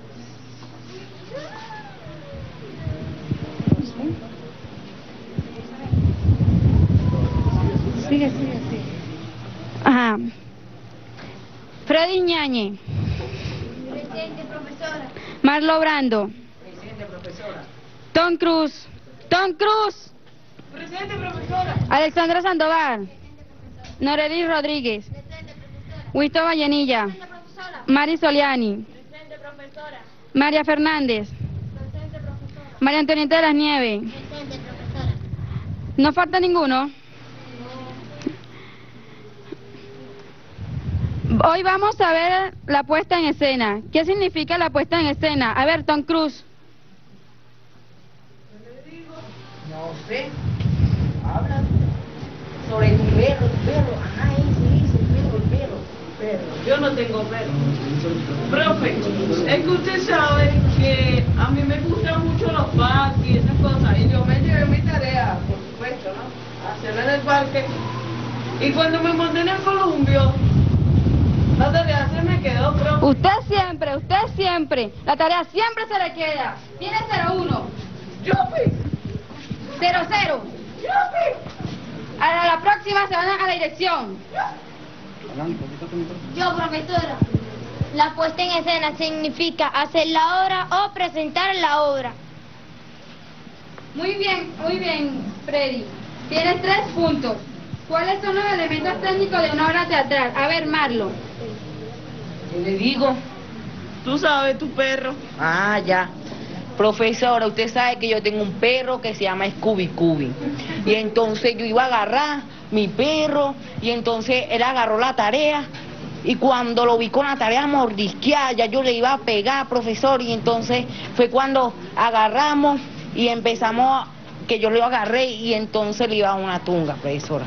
De siempre su perro y su perrito. No, profesor, ¿y cómo? La tarea siempre se le queda. 0-0. A la próxima a la dirección, los dos. Yo, profesora. Los elementos técnicos de una obra teatral son, eh, los elementos técnicos son el ambiente en que se desarrolló la, hist- la historia, iluminación, vestuarios, entre otros. Muy bien, Freddy. Tienes cuatro puntos. Profesora, me tiraron un taquito. ¿Quién fue? ¿Quién, quién le tiene basurera? De basura. Nosotros. A la dirección, los dos. No, profe, tranquila. No, no la volvemos A la próxima se van a la dirección. Sabemos que una obra te- de teatro es una creación literaria con tres perfiles especiales. Norilo Rodríguez, ¿me puedes decir cuáles son? Primero, es literatura. Segundo, es literatura en acción. Y tercero, es literatura en acción como espectáculo artístico. Muy bien, Noreli Rodríguez. Tienes cuatro, dos puntos. A ver, Winston Vallenilla, definir por ser literatura, acción y espectáculo. Por ser literatura hay que descubrir todas las obras de teatro, contenidos de fondo y lenguaje de forma. Por ser acción hay que descubrir los tres momentos. Comienzo, desarrollo y desenlace. Muy bien. Winston, dos puntos. Señorita, ¿y esos zapatos? No, profesora, que mi papá no, no tiene bien. ¿Que no tiene riar? ¿Y con qué, entonces con qué comen? Con comida. ¿Cómo que con comida? Explícame, los zapatos son negros, no de colores. Profesora, es que mi papá no tiene real y mi papá es muy humilde, profesora. Se va a la dirección, vamos. No, profesora, no me lleve. Vamos, profesora, vamos. No, profesora. no, Vamos, a la dirección. No, párese, párese, a la dirección.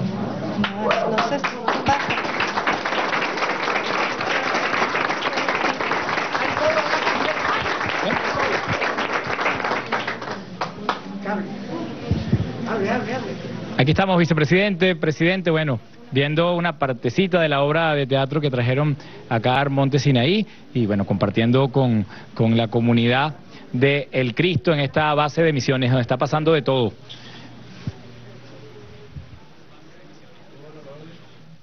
Y qué maravilla. Vamos a darle un aplauso a los muchachos a la obra de teatro. Es bueno. Mira, Freddy, y el, la profesora cubana, ¿por qué no la pones allí? O al, al médico, que no lo hemos visto, no hemos hablado con el médico.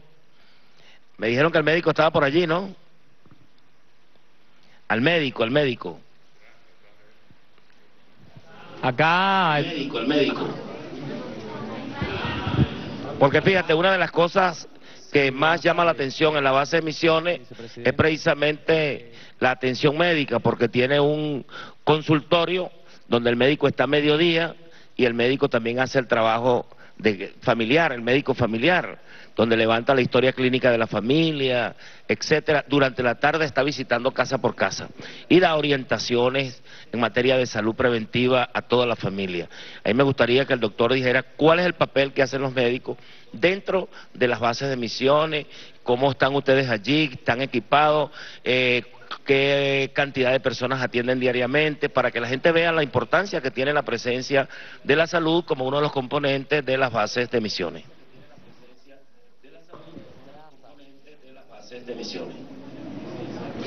Eh, bien, buenas tardes. Reitero las buenas tardes, señor presidente y vicepresidente.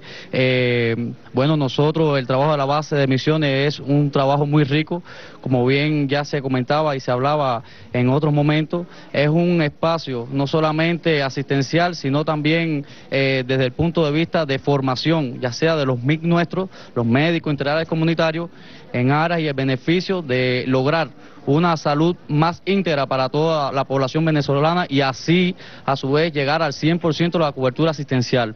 Es una población donde nosotros los servicios que brindamos son servicios de atención al, es decir, al niño sano, al adulto mayor, a las embarazadas y a los lactantes, que incluso son, eh, es decir, atenciones diferenciadas en aras de mejorar aún más, aún más los estilos de vida en la población. Hoy la comunidad de Cristo eh, tiene la satisfacción de en revolución tener la salud en este lugar, eh, aumentar aún más eh, y eliminar los niveles de pobreza, porque no solamente es la pobreza económica, sino también la pobreza desde el punto de vista eh, eh, intelectual y considero que hoy la base de misiones de Cristo está en otro momento, en un momento que gracias a esta base de misiones ha sabido elevar ya sea sus conocimientos intelectuales, así como elevar aún más los niveles de salud, ya sea para la población completa en general.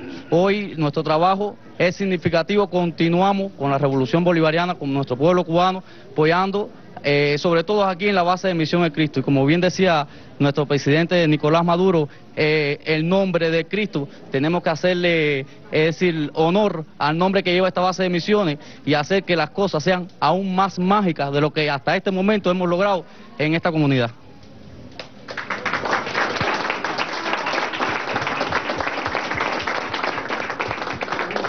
Ustedes todo lo que, todo lo que, eh, es muy importante que todos los venezolanos vean lo de las bases de misiones. Eh, casi siempre nos paramos, vemos, pero no hacemos el recorrido. La gente tiene que ver que hay un espacio que tiene que ver con la educación, hay un espacio que tiene que ver con la salud y efectivamente el espacio que tiene que ver con la, con la educación tiene para iniciar con, el Simoncito, pero al mismo tiempo la misión Robinson 1, la misión Robinson 2, lo que tiene que ver con la misión Riva.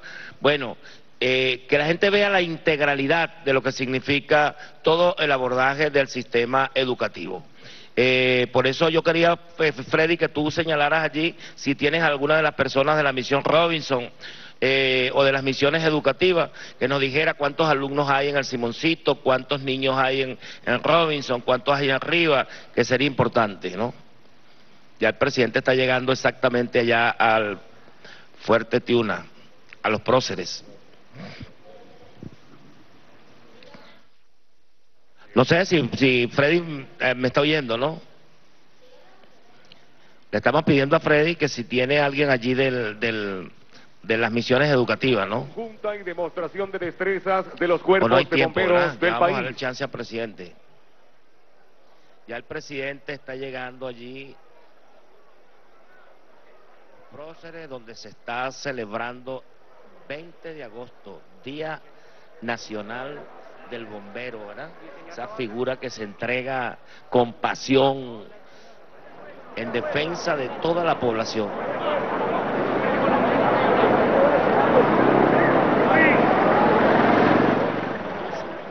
Por eso tenemos la obligación como gobierno revolucionario destacar la acción que hacen los cuerpos de bomberos, hombres y mujeres, en los distintos rincones del país.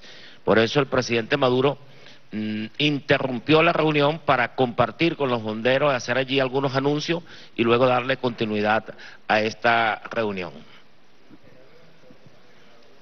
Estamos viendo allí el acto, ¿no? Es el, en el Paseo Los Próceres. Hay representación de los distintos cuerpos de bomberos del país. Está el ministro Reverol, porque el cuerpo de bomberos pertenece justamente al Ministerio de Relaciones Interiores de Justicia. En este momento hay una exhibición de los bomberos en los, mm, en los, en los próceres. Ahí lo podemos apreciar. Están los bomberos del Distrito Capital haciendo unas maniobras sobre las distintas actividades a las que la vida diaria los somete a ellos.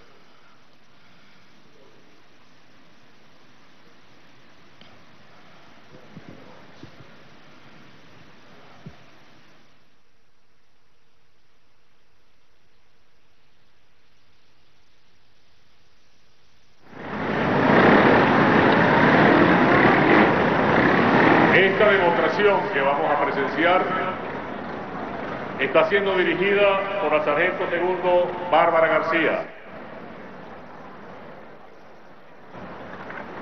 A continuación vamos a presenciar una formación sincronizada donde cada integrante debe demostrar el dominio y control que posee de la motocicleta. Esto se los logra bomberos. Allí se encuentra el presidente de la República Bolivariana de Venezuela, Nicolás Maduro. Y tenemos que mencionar que allí el presidente Nicolás destacó este sábado la labor de los bomberos venezolanos que hoy celebran su día luego que en 1972 se acordara conmemorar la fecha de los 20 de agosto de cada año. Hoy el mejor homenaje que podemos hacer a los bomberos de todo el país es el agradecimiento infinito por su desprendimiento, por su valentía, por su entrega plena. Sigan siendo ejemplo de moral, de dignidad y de servicio público para el pueblo. Así lo manifestó el presidente en un mensaje divulgado en su cuenta en Facebook hace un par de minutos. De igual forma, destacó que el Día Nacional del Bombero se celebra en honor a quienes han sacrificado su vida en el servicio del rescate, la extinción de incendios, el tratamiento de materiales peligrosos, administración de desastres naturales y accidentes a lo largo de nuestra historia. Por ello escribió de igual forma el mandatario, queremos felicitar a todos los hombres y mujeres que han dedicado su vida a uno de los servicios más nobles que existen, porque implica arriesgar la propia vida en función de salvar otras, proteger la infraestructura y asistir a quien lo necesita en cualquier momento o circunstancia, transformándose en una luz de esperanza en la adversidad. Tenemos que destacar que durante el primer Congreso de Bomberos efectuado el 20 de agosto del año de 1972 en Maracaibo, Estado Zulia, se acordó celebrar este Día del Bombero. El mayor Luis Montes, primer comandante del Cuerpo de Bomberos del Distrito Federal para aquella época, también pidió al Consejo Municipal que oficialmente se declarara esta fecha como Día del Bombero en Caracas. El 7 de julio de 1975 se aprobó la solicitud de este día maravilloso. Que vivan los bomberos de nuestra patria.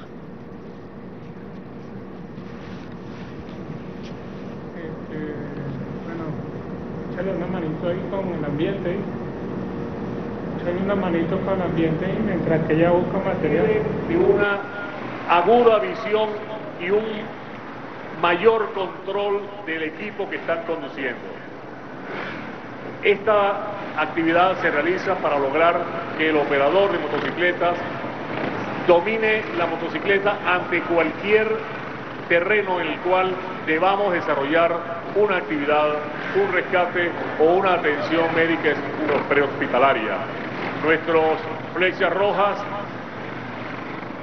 se desplazan en este ejercicio para que ustedes puedan visualizar cómo es el entrenamiento diario que estos motorizados deben tener.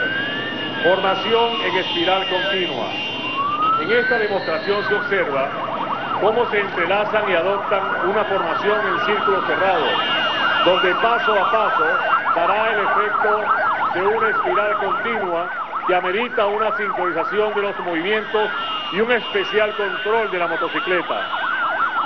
La dificultad de este ejercicio consiste en aplicar sistemas de frenados de binomio en 25 y 25%, angulación de giro en baja y mediana velocidad con alineación de postura, aplicación del sistema BEE, e, que consiste en búsqueda, evaluación y ejecución de la técnica adecuada. Torques porcentuales de, revoluciones por minuto y fijación de topes para lograr la aceleración perfecta de cada transición.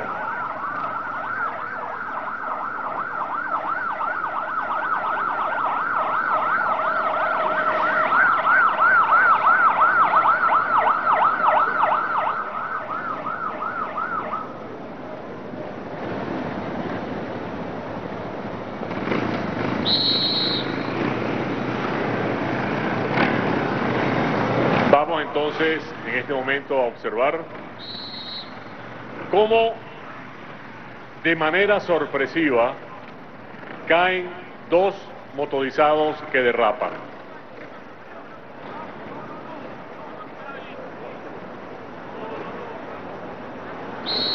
Al suceder esto, de inmediato se activan los componentes motorizados que se trasladan de manera rápida y segura para la atención de la emergencia. Una vez en el sitio, realizan una evaluación de la escena para hacerla segura y que ello no comprometa el trabajo de los paramédicos motorizados. Inician la evaluación del lesionado que por las condiciones se activan los protocolos de atención para pacientes con trauma. Se comienza con el control cervical para proseguir con el retiro del casco de una manera segura, de modo que no se comprometa la columna cervical más de lo que el trauma causó. Bajo una maniobra segura, colocan al lesionado para transportarlo sobre una tabla rígida y con ello poder transportarlo a un sitio de atención médica de manera segura, cuidando los protocolos encapsulando al lesionado para que sus lesiones no sean mayores de las que se, que se causó al momento del accidente y con esto causar el menor daño posible. Amarramos, atamos, aseguramos al lesionado para que tenga el menor daño posible.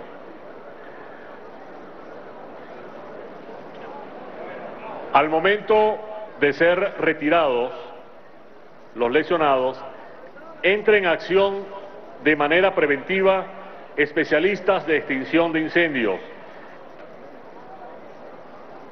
empleando equipos portátiles de última generación para la supresión de incendios en su, base, en su fase inicial. Estos equipos expulsan chorros de agua a presión y con ello se neutraliza la posibilidad de una ignición equipos, técnicas y personal entrenado para garantizar una pronta y rápida respuesta. Las flechas rojas, siempre listos a la disposición de la comunidad.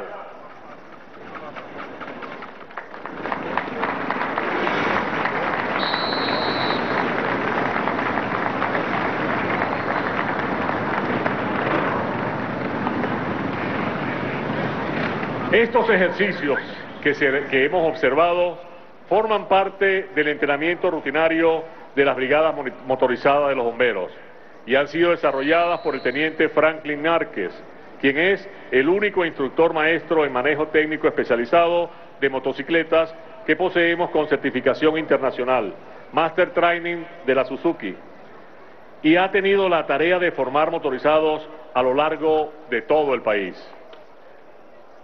Brigada Motorizada de Bomberos de Venezuela.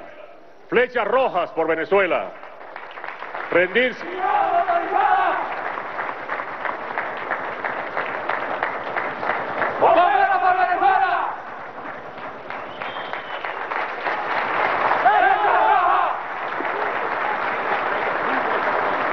Rendirse para ellos nunca será una opción.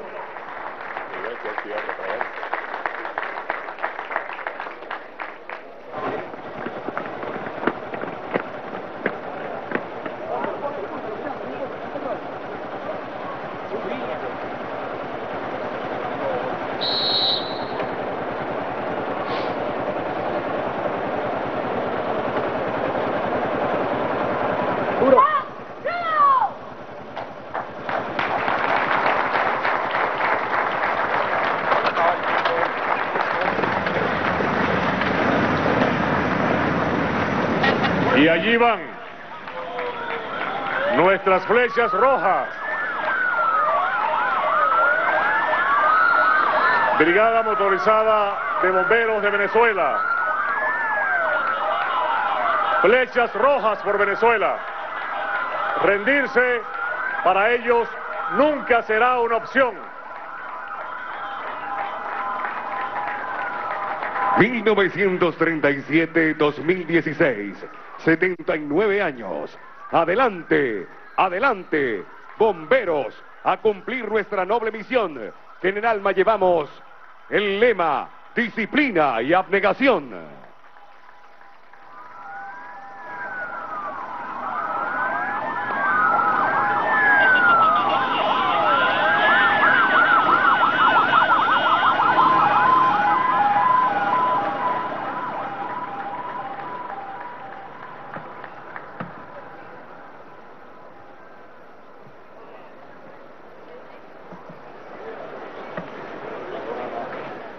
Observamos en, en el vehículo escalera cómo descienden en Cristo invertido dos de nuestros funcionarios.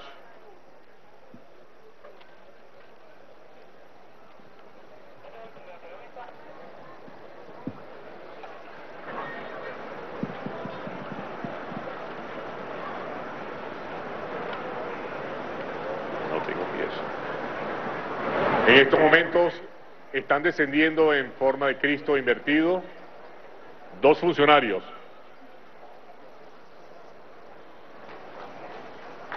Dos funcionarios desde la unidad de escalera. Esta es una maniobra, esta es una maniobra que se realizan para cuando el rescatista no puede acceder a una fosa a realizar su rescate y debe ingresar de esa manera para que así pueda recuperar a la víctima y rescatarla sin causarle mayor daño en, sus movimientos y en la maniobra que deba realizar.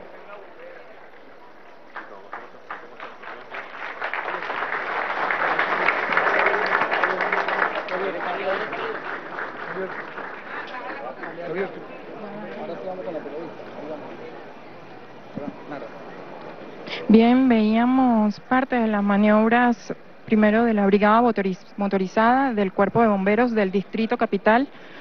Hoy, desde el Paseo de los Próceres, a propósito del 79 aniversario de los bomberos de Venezuela.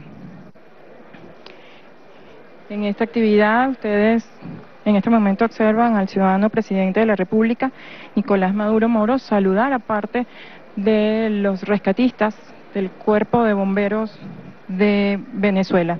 Importante señalar que hoy en todo el territorio nacional se han ascendido a 4.000 oficiales, 12 en cada jerarquía, desde bombero raso hasta coronel y un general del Cuerpo de Bomberos. Asimismo, se entregaron unidades, 19 unidades vehiculares a los distintos cuerpos de bomberos del país. Desglosamos, son, fueron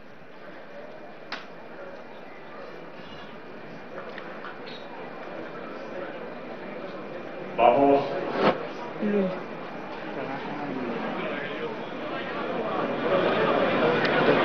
Van narrando lo que van a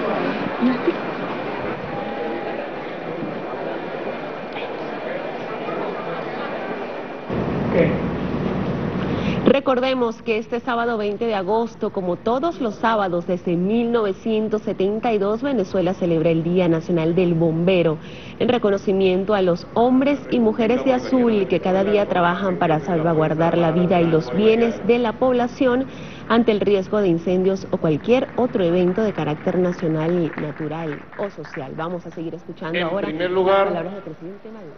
Quiero felicitar a toda la comunidad de bomberos y bomberas de la patria, a toda la familia bomberil en su día, 20 de agosto, 79 años de este sistema maravilloso de soldados de Dios, de héroes de la patria. Compañero ministro, mayor general Néstor Luis Reverol, cargado de negocios de nuestra hermana Ecuador, Eduardo Enchalada, general en jefe Jacinto Pérez Arcay. Qué bueno verlos tan cerca. Les doy un abrazo desde aquí a todos y a todas, hermanos y hermanas, bomberos de la patria, a sus familiares, a sus hijos, hijas, a todos los bomberos y bomberas que nos ven, diputados y diputadas del bloque de la patria, compañero jefe de gobierno, Daniel Aponte de Caracas, generala Rosaura Navas, comandante del cuerpo de bomberos del distrito capital.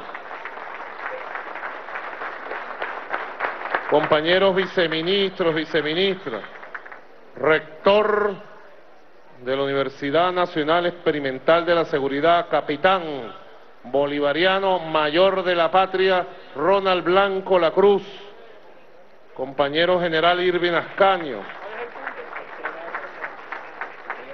a todos y a todas les doy un saludo. Estaba yo hace unos minutos en unas jornadas de reuniones con el Consejo de Vicepresidentes y Ministros y Ministras en el Palacio de Miraflores. Hoy está conmemorándose 10 años de la inauguración del cardiológico infantil, que ha salvado miles de vidas de nuestros niños y niñas. Hicimos un acto especial, muy hermoso. Y además estamos inaugurando bases de misiones socialistas en todo el país.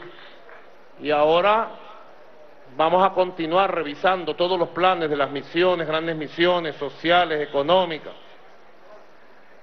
Pero yo sabía que hoy había este acto hermoso. Y siempre le he insistido a los compañeros que están al frente del ministerio y de todas las instituciones que yo tengo una gran admiración, como todos los venezolanos, tenemos una gran admiración por el espíritu heroico de los bomberos, de las bomberas. Y yo quería y quiero siempre estar muy cerca de ustedes, darle todo el apoyo que se pueda darle. Y más allá, respaldar esa preparación técnica. Fíjense ustedes el escuadrón motorizado que vino ahora. Hombres curtidos dirigidos por una joven de 22 años. ¡Qué maravilla! ¡Qué maravilla! Y el lema es lo que más me gustó, el lema de los motorizados. El lema es, para nosotros rendirse no es una opción. ¿Ah? Aquí no se rinde nadie nunca. Y eso lo lleva uno aquí. Es la moral nuestra. Por eso yo me siento, con esa moral de ustedes, yo me siento un bombero de la patria, un bombero como ustedes. Y quiero aprender cada día más de ese espíritu que los mueve a ustedes. Es un espíritu heroico. Es un espíritu que es admirado por las niñas, por los niños. Un saludo a las niñas. Mira esta niña que hermosa. Un saludo a las niñas que están aquí al frente. Qué belleza, mira. Y a los niños también. Que vivan los niños y las niñas de la patria. Es por eso que dejé a Aristóbulo allá en el Salón Sol del Perú, conduciendo la actividad, dando los pases, y le dije, llamé al mayor general Reverol Torres y le dije, yo quiero ir al acto de los 79 años del Día de los Bomberos y las Bomberas, presentarme allí de sorpresa para darles mi saludo y también para darles una sorpresa necesaria para ustedes. Y aquí estoy, aquí estoy.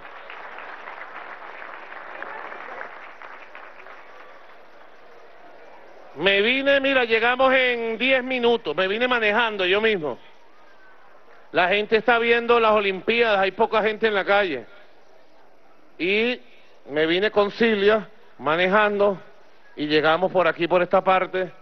Y desde que llegué me bajé y comencé a llegar a esta tribuna, sentí la emoción de la fuerza de ustedes.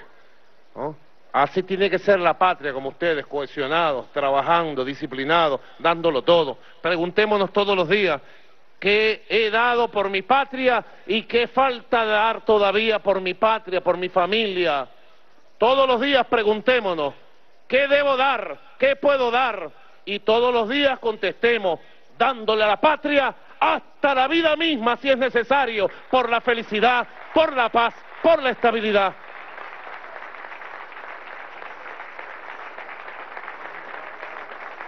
Podríamos decir que esa es la dimensión espiritual, moral. ¿Por qué ella llora?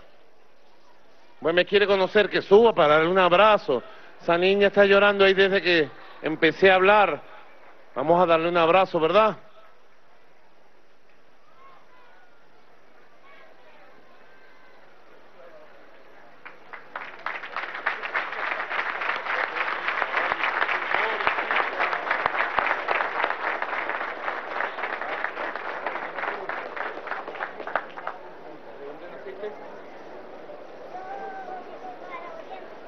En este momento saludo a una niña que se encontraba en la tribuna presidencial.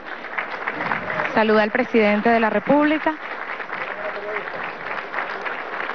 Recordemos que hoy, durante un acto protocolar aquí en el Paseo Monumental Los Próceres, se asciende a 4.000 bomberos. Ese abrazo que me acaba de dar Josbeli Ávila le carga las pilas a uno aquí, las pilas del alma, hasta más allá del infinito, para seguir esta lucha por ellos, por ellas, por las niñas, por los niños de la patria.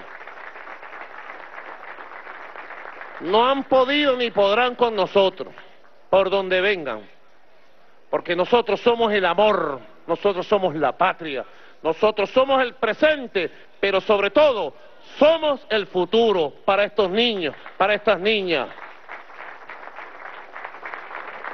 Ahora estábamos hablando de la dimensión espiritual, la vida, el ser humano como ser social, ser individual y ser social, somos. Tiene la dimensión espiritual, moral. Las dos a veces se hacen una sola. Somos hijos de Dios, ¿verdad? Somos hijos de la tierra.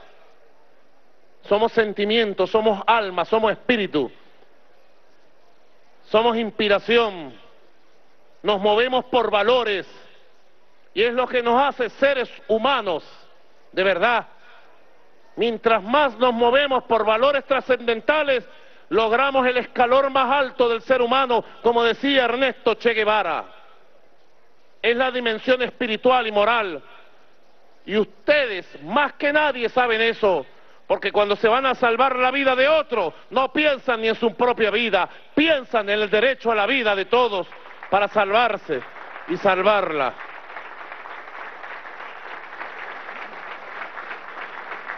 Y cuenten con todo el apoyo material, logístico, de equipos. ¿no? Le he dicho al ministro Mayor General Reverel Torres que continúe la labor inmensa que hizo nuestro compañero Mayor General González López, ministro también del Interior. Los dos son hermanos en el esfuerzo para seguir apoyando en camiones, equipos, ambulancias, grúas, motos, entrenamiento, que es la parte material, y también apoyar en condiciones de vida.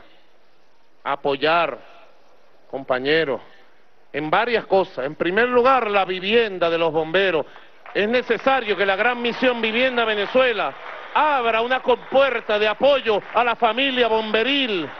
Compañero Reverol Torres, coordine con el general Quevedo, Manuel Quevedo, para un plan especial con la gran visión Vivienda Venezuela y Barrio Nuevo, Barrio Tricolor.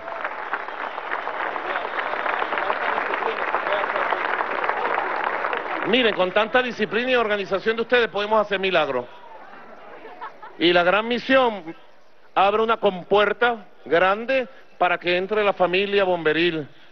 La gran misión vivienda y la gran misión barrio nuevo, barrio tricolor, las dos. Y también, como estamos enfrentando una guerra económica brutal, que le vamos echando agua, pero ellos siguen prendiendo el fuego por aquí, fuego por allá. Pero al final la victoria va a ser nuestra. La batalla lo que hace es hacernos más fuertes. Ah, que ellos siguen en su guerra, nosotros seguimos en nuestra batalla. Y al final del camino la victoria nos pertenece. Largo o corto el camino, pero la victoria nos pertenece. Hay que cuidar entonces las condiciones de vida y de trabajo. En ese sentido he recibido una propuesta del ministro, compañero, de proceder a un aumento inmediato del 50% de todas las escalas salariales de la tabla de los bomberos a nivel nacional y he aprobado el aumento del 50% de todas las tablas salariales. Lo cual se une al aumento del cestatique hasta 42 mil bolívares. Saben ustedes que van a empezar y deben empezar a disfrutar desde el 30 de agosto, desde el último de agosto. Para cuidar las condiciones materiales de trabajo y de vida. Y además he autorizado los recursos para aumentar la prima. La prima de riesgo un 150% para toda la comunidad bomberil a nivel nacional.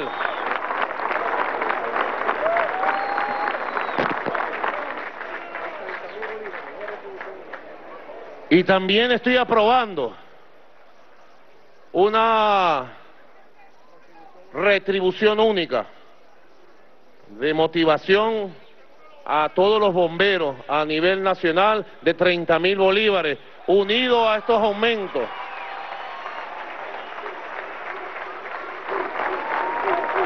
Ahora, todo esto que está en el plano material debe fortalecerse, el seguro de los bomberos.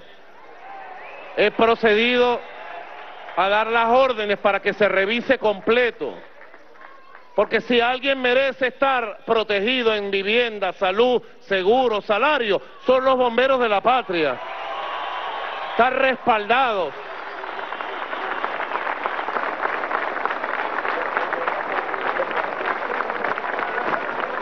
Pero además yo quiero decirle, agarren ustedes su WhatsApp ahora. ¿Quién tiene WhatsApp? Y el Twitter también. Porque yo he sabido, ¿no tiene Twitter? ¿Y WhatsApp? Mira, yo he sabido, por el informe que me ha dado el ministro, que muchos de estos aumentos que para defender de la guerra económica la familia bomberil he dado los últimos años, al final por allá en el pueblo tal, en el estado tal X, no se los dan. Así que le he dicho al ministro, en el estado Miranda, por ejemplo, no se los dan, los discriminan. En el estado Miranda discriminan los bomberos, a los policías, a todos los funcionarios públicos, a los trabajadores. El fascista llamado el majunche lechero, no quería decirlo, pero ustedes me obligaron. Ahora, fíjense ustedes, para esto hay que corregirlo.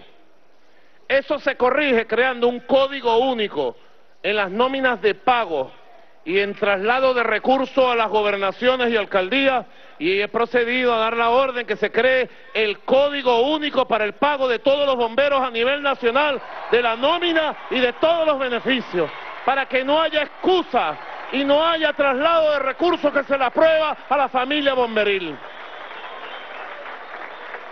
Hay que proceder de inmediato.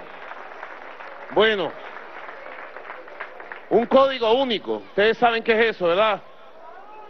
Que vaya el dinero.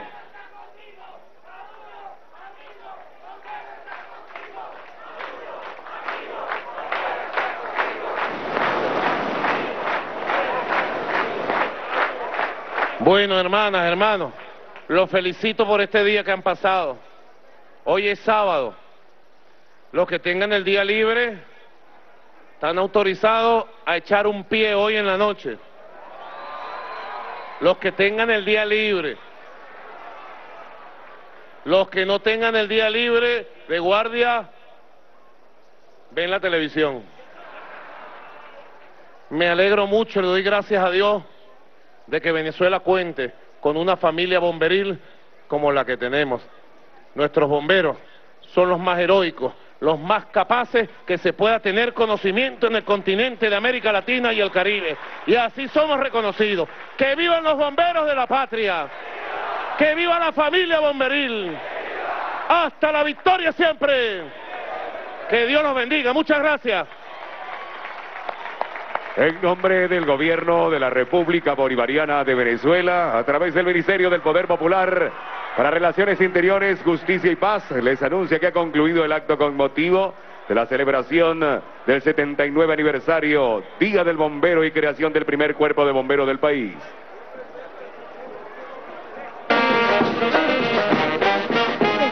133 cuerpos de bomberos de todo el territorio nacional se hacen presentes aquí en la tribuna presidencial para recibir la, los beneficios que el presidente de la República y el gobierno bolivariano le otorga a todos los bomberos del país, quienes son los que garantizan todos los días la integridad física de los ciudadanos y ciudadanas de la nación.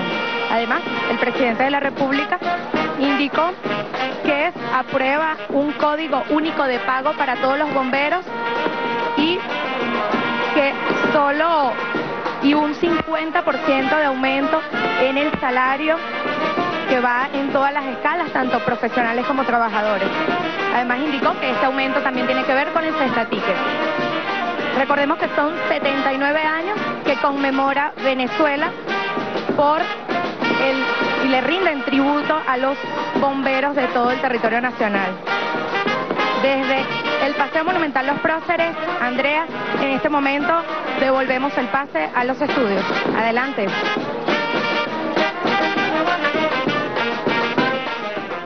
Gracias. Marinés Ladera se encuentra allí en este 79 eh, aniversario del Día Nacional del Bombero. Queremos reiterar con ustedes los avances en materia de vivienda al cuerpo bomberil, como lo ha anunciado el presidente de la República, Nicolás Maduro, el aumento del 50% de la tabla salarial a nuestros bomberos, más el ticket de alimentación, a su vez un bono de 30 mil bolívares en retribución y el código único de pago para nuestra familia bomberil. Felicidades, que vivan los bomberos de nuestra patria. Son las seis de la tarde en punto, así despedimos el presente contacto en directo. Un placer acompañarles a esta servidora, Andrea Meriterán. Continúen disfrutando de la programación de Venezolana de Televisión.